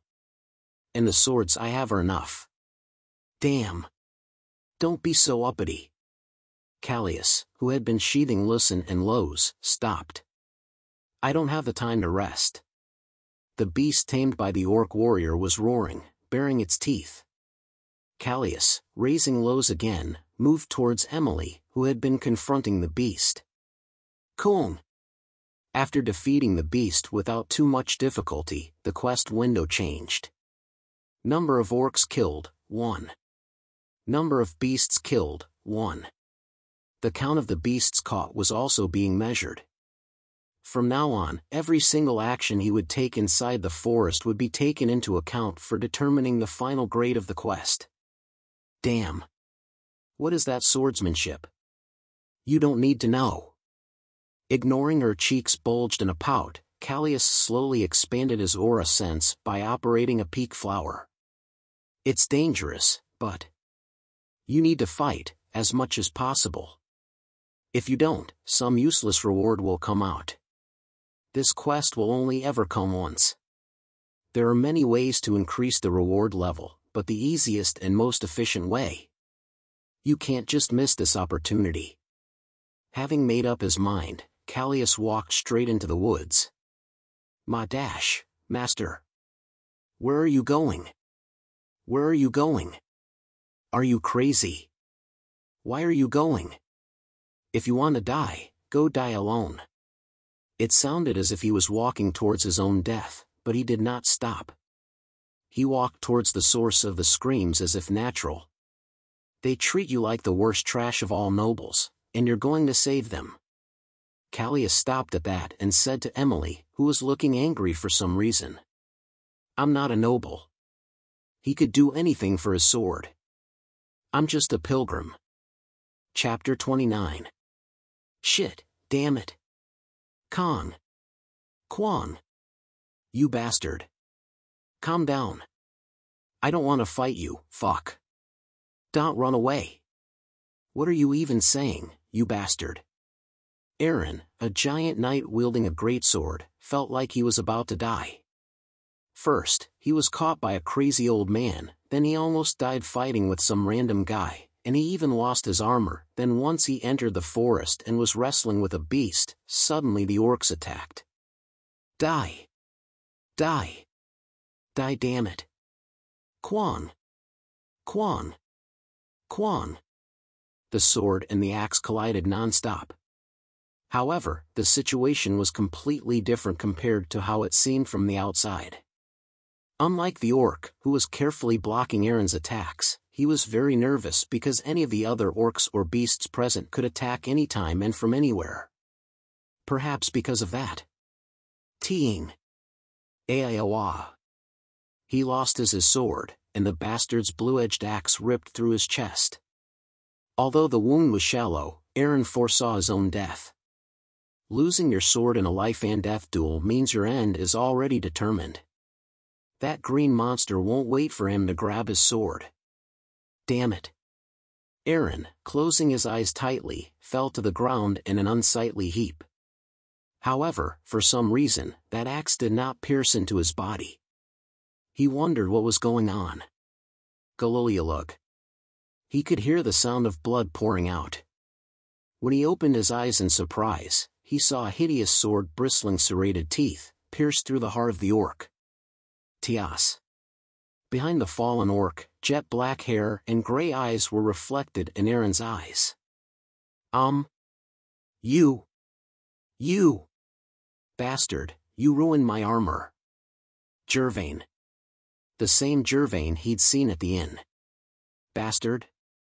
Ah, I meant my lifesaver. Thank you. Thank you. You're like an angel. As Aaron lowered his head, Callius' cold eyes turned to another direction. As he hurried on, he kept stabbing orcs from behind who had been facing the other knights. No, he was just looking for the knights. Aaron tilted his head, but he couldn't afford to ponder on it. Because living was more important right now. Bruns. This guy here is hurt. Yep. Bruns is coming. Um. You, have I seen you somewhere? Aaron bowed his head quickly. I don't know, ugh, it hurts so much. Oh, I'll stop the bleeding. Fortunately, Bruns didn't seem to remember the face of the one who'd punched him into unconsciousness. Feeling lucky at that fact, Aaron asked about the Jervain who was relentlessly attacking the orcs. Who is he? He is a noble among nobles, a man among men, and not satisfied with just that, he became a pilgrim. Although an iron-blooded swordsman, he still has warmth in his heart. No, I mean his name. If you ask that, He's Callius von Jervain. Callius von Jervain. I'm Emily von Jervain. You, your wounds are so shallow, so get up and grab your sword again. And fight alongside that bastard. He saved your life, so even if you die, don't let him die. If it weren't for Callius, you'd be dead. You had no chance to live. That's true, but, even that bastard is saving others and killing the orcs without caring about his own life. You're bigger than him. You're bigger. Aaron eventually bit the bullet, one, hauling up his aching body and chasing after that fluttering red cloak. A smile spread across Emily's lips as she looked at his back. The number of knights following Callius was increasing. When he first ran towards the orcs, she thought he was really crazy, but he was saving lives by easily killing the orcs fighting the knights. It must have been be difficult for him too. He was looking for knights to save, even though he never knew when and where the orcs might appear to kill him. Thank God. She didn't know what she was praying for, but that's how he felt. Nia. Yes, lady. Do you think Callius will be alright? There were knights by his side. None of them were uninjured, but nonetheless, they followed Callius with their wounded bodies. Most of them were idiots, but the fact that they survived the orcs' axes, even if only for a little while, was proof of their worth. He'll be fine. Despite all his rumors demeaning him, he's still a Jervain. Anne. The attendant named Neo looked at Emily with a bitter look. He's ladies. Enough. A scapegrace is just a scapegrace. I'm just worried about him not getting hurt, so we can survive. That's all. Nia looked at Emily, who was trying to turn her face away, with sad eyes. There really was no point in saving him. It was the guy who'd interrupted my meal at the inn. A rash knight who believed only in his size and power. If I had known it was this bastard, I wouldn't have bothered saving him. Callius clicked his tongue. Number of orcs killed, 12. Number of beasts killed, 27. Number of people saved, 15. Reward, C, dash. However, the quest was proceeding smoothly. The last question mark had indicated saving the knights being attacked by orcs in the White Forest. So, Callius specifically targeted the orcs fighting the knights. It was a bit dirty, but you could easily kill the orcs by a surprise attack from behind, or you could band together with the saved knights to increase your survivability. In order to raise the level of rewards, saving someone rather than killing an orc gave a higher score. And even if the saved knights hunted the orcs and beasts, they wouldn't add to his score, so it was efficient to move quickly before people died. Chalk. Leaving behind the fallen orc, spurting out blood, Callius turned and shouted at the fallen knight. Don't just lie around, pick up your sword. Ah, I see. Yes, yes. Time was running out. Combing the forest bit by bit to save the knights was not as easy as one might think. There was only one body, and there were many to save and many to kill. Even ten bodies would not be enough. I wish I had a flying sword skill, too, dot. It would have been much more comfortable, even if it was something at a lower level than a true flying sword art. What do you do with so many swords? They don't have scabbards, and it's getting harder and harder to carry multiple swords around the waist. It would be more convenient if I could make the swords hover in the air with a flying sword skill, or had an artifact or relic able to hold multiple swords at once. There will be more and more swords in the future. The number of swords required varies depending on the unique abilities of the swords. When I played the game, I had more than a dozen swords in my possession. Even then, if you wanted to carry multiple swords, you had to have a related artifact or a holy relic or you needed a characteristic. However, I don't have any such characteristic, and most of those skills are of an unreasonably high level to learn directly.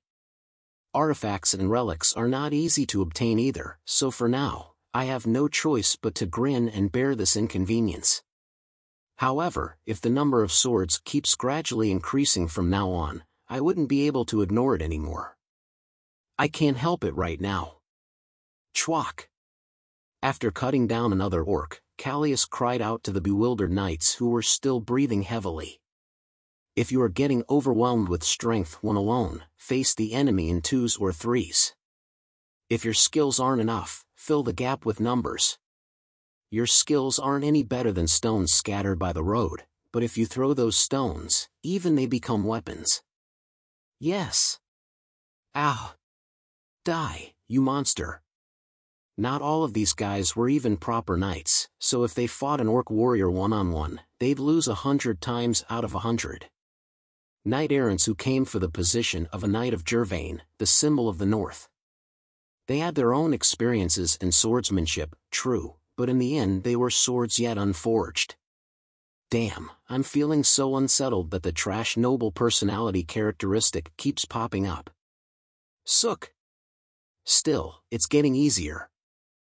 As the number of knights began to increase, they were becoming more and more used to the scenario. No matter how many orc warriors there were, if the knights dealt with them calmly, and if Callius helped out during each crisis, they could be killed without much effort. Number of orcs killed, 32. Number of beasts killed, 54. Number of people saved, 21. Reward, B, dash, after killing them for a while, the reward went up to B. Having defeated one more orc, Callius saw one young knight panting. If it had been three years ago, he would have also been panting like that. Right now, I'm able to cut all these orcs down. It was proof that the last three years had not been wasted. Pilgrim. Everything has been sorted out here. Callius saw an unknown knight reporting to him. Why are you reporting that to me? Seeing his look, the knight said ah, and introduced himself. My name is Alan. I never asked your name. Apologies. The big battle was coming to an end. After saving some of the scattered knights and moving with them together, the situation became more comfortable. But I can't release the tension. The woods are still bustling with enemies. I need to secure a path of retreat to slowly escape the forest and take care of the bigger picture. I will take the wounded and leave the forest. If there are orcs or beasts in the way, they have to be eliminated. If there are any knights left still breathing, we have to take them along too. So, the rewards can go up. Yes. I see. I will follow you, pilgrim. Just give me orders. Callius' eyebrows furrowed. The eyes of the rescued knights were twinkling needlessly. Fuck, how embarrassing. Orphan and the knights rushed out of the forest with Riven and Rinne. Although they tried to be quick, the orcs attacked unexpectedly, so two out of the five knights were killed, and now there were only three knights in total escorting the young Jervain children. We must avoid them. The orcs are the enemies of the north. Why don't we fight, orphan?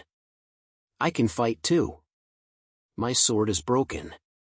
But even so, I'm not worse than most swordsmen of the North. This is an order by the name of the Patriarch's successor, Master Calivan. Father. Riven's mouth shut tightly when she said that it was Calivan's order. He didn't understand why. If you are born a Jervain, it is natural that you are one with the mission and pride of protecting the North. Orphan didn't inherit the bloodline of Jervain, but as a veteran knight of the North, she also wanted to run to the forest and behead the orcs right now. It's too early. But she was a knight. A knight, before a swordsman. For now, the first thing she had to do was to execute the command she had been given. Brother, what do you think happened to that fork guy? It was Rene who asked. Unlike the militant Riven, Rene had a more abstruse character. Both were children, but Rene wasn't as simple-minded as Riven.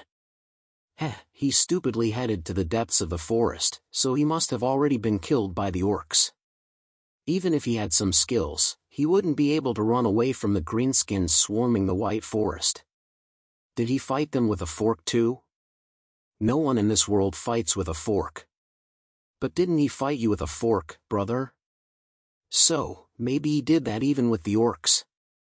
I'm really curious. Maybe someday I'll be able to fight like that with a fork too. Riven's face turned red. Rene continued to chirp in a way that he couldn't tell if she was teasing him or not. Well, Riven couldn't tell, but mostly she was indeed making fun of him. Let us rest here for a while.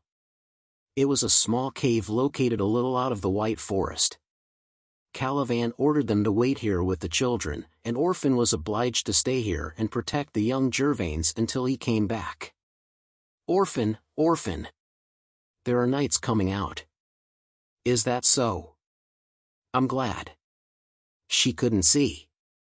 She could only see a few huge trees of the white forest. Her sight couldn't reach so far away to notice the details. Is this Jervain's bloodline? Her gray eyes looked like that of a clairvoyant, observing things happening far away. Yes. There are quite a few surviving knights. Ah. It's the fork. Orphan's ears perked up at the mention of a fork. Him too. He was alive. Well, with that skill, survival wasn't anything unexpected. No matter how strong the orc's axes were, it was not some swordsmanship that could be so easily defeated. No way. No, brother. That's his red cloak. Huh. But he looks just like us. Looks just like them. Riven's eyes widened in surprise at those words. He then rubbed his eyes as if to look more carefully, but he didn't seem to be able to see that much. I can't see them that well. Are you sure? There. Can't you see? Riven shook his head. Rene's eyes were more special than his. Then who? Was he a Jervain? Who is he? One of our uncles? But for somebody like that, a fork is too. Wasn't it too cruel? No, it's the first time I've seen a face like that. Wow, so handsome. I've never seen a face like that. That's all? Ah. I know who he is. The scapegrace. Scapegrace? Jervain's scapegrace. Even a young Jervain could not know the famous story. One of the greatest trashes in the history of the Jervain family bloodline spanning centuries. One of the greatest shames among all aristocrats. Even after he was kicked out of the family, he became a scum known as the prodigal son of the church. Callius von Jervain. Then you mean I lost to the biggest idiot in Jervain's history. Do you see that? Riven was ripping his hair out, but Rene kept looking at the distant scenery as if possessed by something. Leading a large group of knights, being chased by the orcs. He fights well. The other knights look a bit stupid, but the scapegrace, no, Callius. He fights really well. But nevertheless. There are too many orcs. Knights coming out of the white forest. And the black and green forms chasing them. The horde of orcs, looking like swarms of ants, were too many for the young woman to count. And soon. The border. It, it's broken. The border is. The northern border had been dyed green. Chapter 30 If you don't want to die, leave. His sword drawn, Callius oversaw the evacuation of the villagers with sharp eyes. Sir Callius. We've evacuated everybody. Sending them to Javarsh. It's all done. After evacuating the villagers near the border, Callius looked towards the horizon. Having already passed several villages, the orcs were now drawing near to the heart of the north, and they were occupying or setting fire to all the villages in their way. Javarsh. Step by step, towards the Jervain castle. The greenskins were slowly approaching. Should have killed a few more in the forest. There were more orcs than I expected. Moreover, as we were leaving the forest, we were outnumbered and could not attack hastily. I thought about occupying the village and engaging them in urban warfare, but I discarded the notion. The knights didn't have infinite stamina. In addition, the orcs would have an advantage over the knights in that kind of street fights across buildings. It's just B rank, but it's already becoming difficult. I don't want S plus grade rewards, but shouldn't at least A plus grade be possible?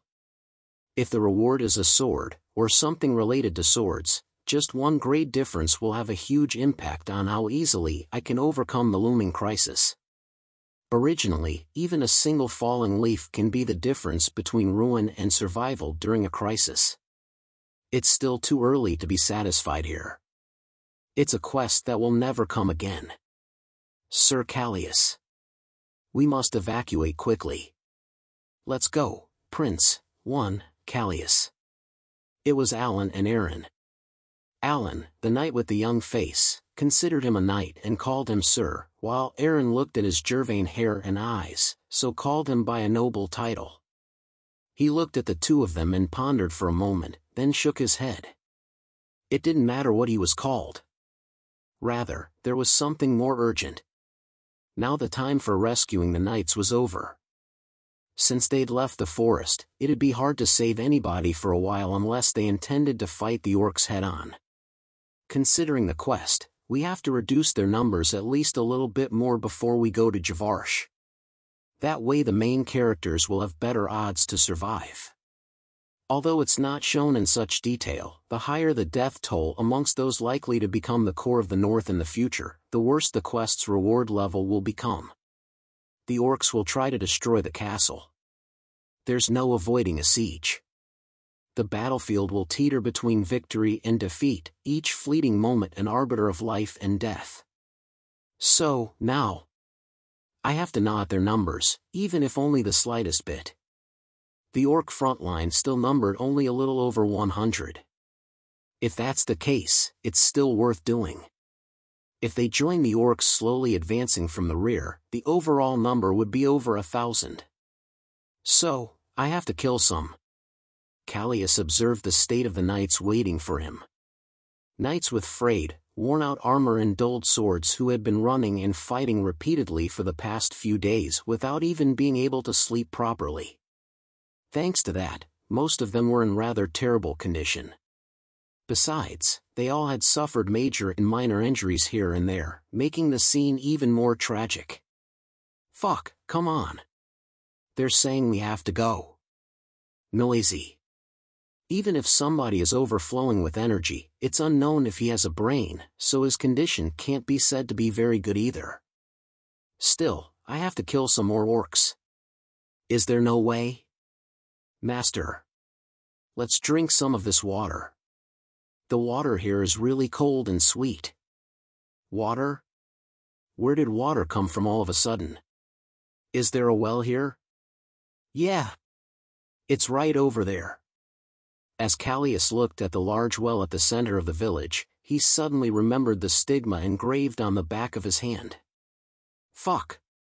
Yes, there is this one way. Good job. Bruns. Yes, yes. Bruns, suddenly receiving Callius' praise for the first time in his life, stiffened with a puzzled face. Leaving him standing there frozen, Callius immediately took out a pouch from the stigma and dumped its contents into the well. Tack, tack. In the forest near Javarsh. Calivan was biting his nails nervously as he waited for someone. Brother. Are you here? Luthien. Calivan grabbed the person who appeared suddenly, and stared at him with bloodshot eyes that seemed positively murderous. Why didn't you tell me? There are so many orcs out there. Calm down, brother Calivan. What's the problem? Isn't this a problem? The whole northern border. The pillar of Carpe is being ravaged by those savages. The usual Calivan, who always had a relaxed smile on his face, was nowhere to be found. He now looked like a gambler who had squandered all his fortune at the gambling den. The man called Luthien shook off Calivan's hands without difficulty. His two hands had enough power to force away Calivan's strong hands, trained for decades, very easily. Brother. Everything is going according to plan. Only in this way will you be able to inherit the North's heritage intact. Only then can we be rewarded for our efforts. You're sure? Yes. Flightless dragons and their nests are just prey, aren't they? A wounded dragon in its nest is just a wild beast. The current Jervain patriarch.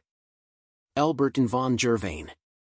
You have to be prepared for at least this amount of bloodshed if you want to catch him. Creation supports Brother Calivan. How can you succeed in such a great cause when you get excited so easily? You have to be more poised. Yes. I got too excited. It was all thanks to Creation that I was able to get this far, but I forgot that for a moment. Yes, yes. I understand. Now, the highlands are just around the corner. By sacrificing the green filth of the north, a new master of Jervain will be born. Let's just wait quietly for now. Those greenskins will take care of everything. The man called Luthien assured Calivan like that, and then slowly turned his head. At his slight nod, the hooded and masked ones behind him straightened their backs. In their hands, for a brief moment, flashed the blue blades of spears. They're going to arrive tomorrow. Callius, who had taken refuge in the nearby mountains for a while to avoid the advance of the orcs, breathed in the bleak pre-dawn air. The cloak of twilight warded away the cold, but after fighting and running for days, his whole body was drenched with sweat. I want to wash. But there was no room for that kind of luxury. Number of orcs killed, 52.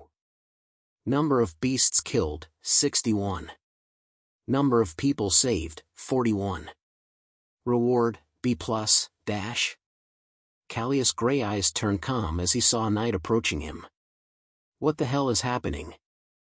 I heard that nothing like this has happened in nearly a hundred years. He was a knight belonging to the Jervain family. It was not completely unprecedented, but this was the first time that so many orcs had pushed in so indiscriminately. Originally, battles between Jervain and the orcs had happened before. However, their battles over the White Forest never ended decisively for either side, and so their war had continued endlessly. It's just a result of time and planning. What do you mean? It just means that the time has come. What was always about to happen had finally happened. Fatalites' Wheel originally was that kind of a story. Orcs and Jervain. The White Forest and the beasts at its center. A wheel that keeps turning. And the forces trying to reach out to those demonic beasts using the wheel. They're playing their own game. Who would want to see Jervain fall the most? Which nation? The Empire. The fanatics who call themselves the only holy empire and worship the god of creation. I don't know how they tricked the orcs into this. But it won't be that easy. I can't let them ruin Carpe. The village was already full of orcs. It was around lunchtime when the knights rescued by Callius had left the village. It was already almost dawn now. The orcs would occupy the village, rest, and set off again in the morning. At their speed, They would knock on the castle gates in three days, leading to a battle. After that, the rest of the orc army would arrive, bringing even more chaos to the battlefield. So before that, Callius needed to reduce their numbers, even if only a little. Sook. As Callius got up and put Lucen and Lows around his waist, the knights who had been resting froze at the sight. They seemed to know why their savior was moving. There were some who rose, some who couldn't decide whether to rise or not, and some who sat and sent anxious glances. The total number was 44. Originally, more than 300 had entered the White Forest. They were the only ones left. Heads, shoulders, and legs were all covered in bandages. Their eyes fluttered aimlessly, and they trembled with anxiety. Their sword arms, full of hesitation. They'd fought in the forest, escaped, and then fought again. By the time they had reached this hiding place they were already trembling in fear, their bodies refusing to move any further. It had only been half a day since then, so when thinking of moving again, this was the natural result. They needed to take a break, they really needed rest. Callius looked at the horizon in the distance. The sky was utterly dark. The darkest hour, just before sunrise. He put his hand on the hilt. They will go to Javarsh. The castle that was the seat of Jervain, who represented the north. It was the orcs' final destination. Sooner or later, they will destroy the gates, and eventually kill everyone in the castle. The northern parts of the kingdom will then be theirs. It was their long-awaited dream. To become the ruler of the north. To reclaim their ancestral lands. They had such a destiny. But I'm not going to let that happen. Strength seeped into the knight's sword arms at that declaration. Callius was speaking calmly, but there was some kind of power in his voice. An assertiveness, and confidence. And the arrogance, characteristic of aristocrats. Together, those qualities emanated the presence of Callius von Jervain. Our enemies are over a hundred, but there are only forty of us. Nevertheless, I will go meet them. We need to reduce that number a bit. That way, the rewards will be higher. An opportunity that will never come again. You can't just be satisfied with AB+. It's reckless. A young knight bit his lip and spoke. There was no strength in his voice, his head down and his gaze towards the ground. He was trembling. His name was Alan, he said.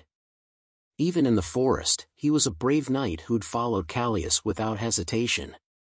But now, he was trembling with fear. He was afraid. Was it your first large-scale battle? That blonde hair is like Leon, although the age is closer mine, so it keeps catching my eye. It's not reckless. That's not the last of them. Even if it's a hundred now, their number will grow more and more as the days go by. If it's a hundred now, in the end, it will become thousands. It's not some simple quest that ends overnight. But by the same token, the level of compensation can increase exponentially. It's still fine. Before that great army of thousands arrives. Right now, when those orcs are blindly slaughtering the village's food supply, is an opportunity. The time now is before sunrise, the darkest hour that precedes that dawn. The odds have already been adjusted. There's a reason why we evacuated the villagers but left all the food in the village untouched. What's the reason? Callius had bought a lot of things in TriStar. In going through that purchase history, one could find some things that were quite useful even during a war. Because most of the ingredients of the holy water were quite poisonous.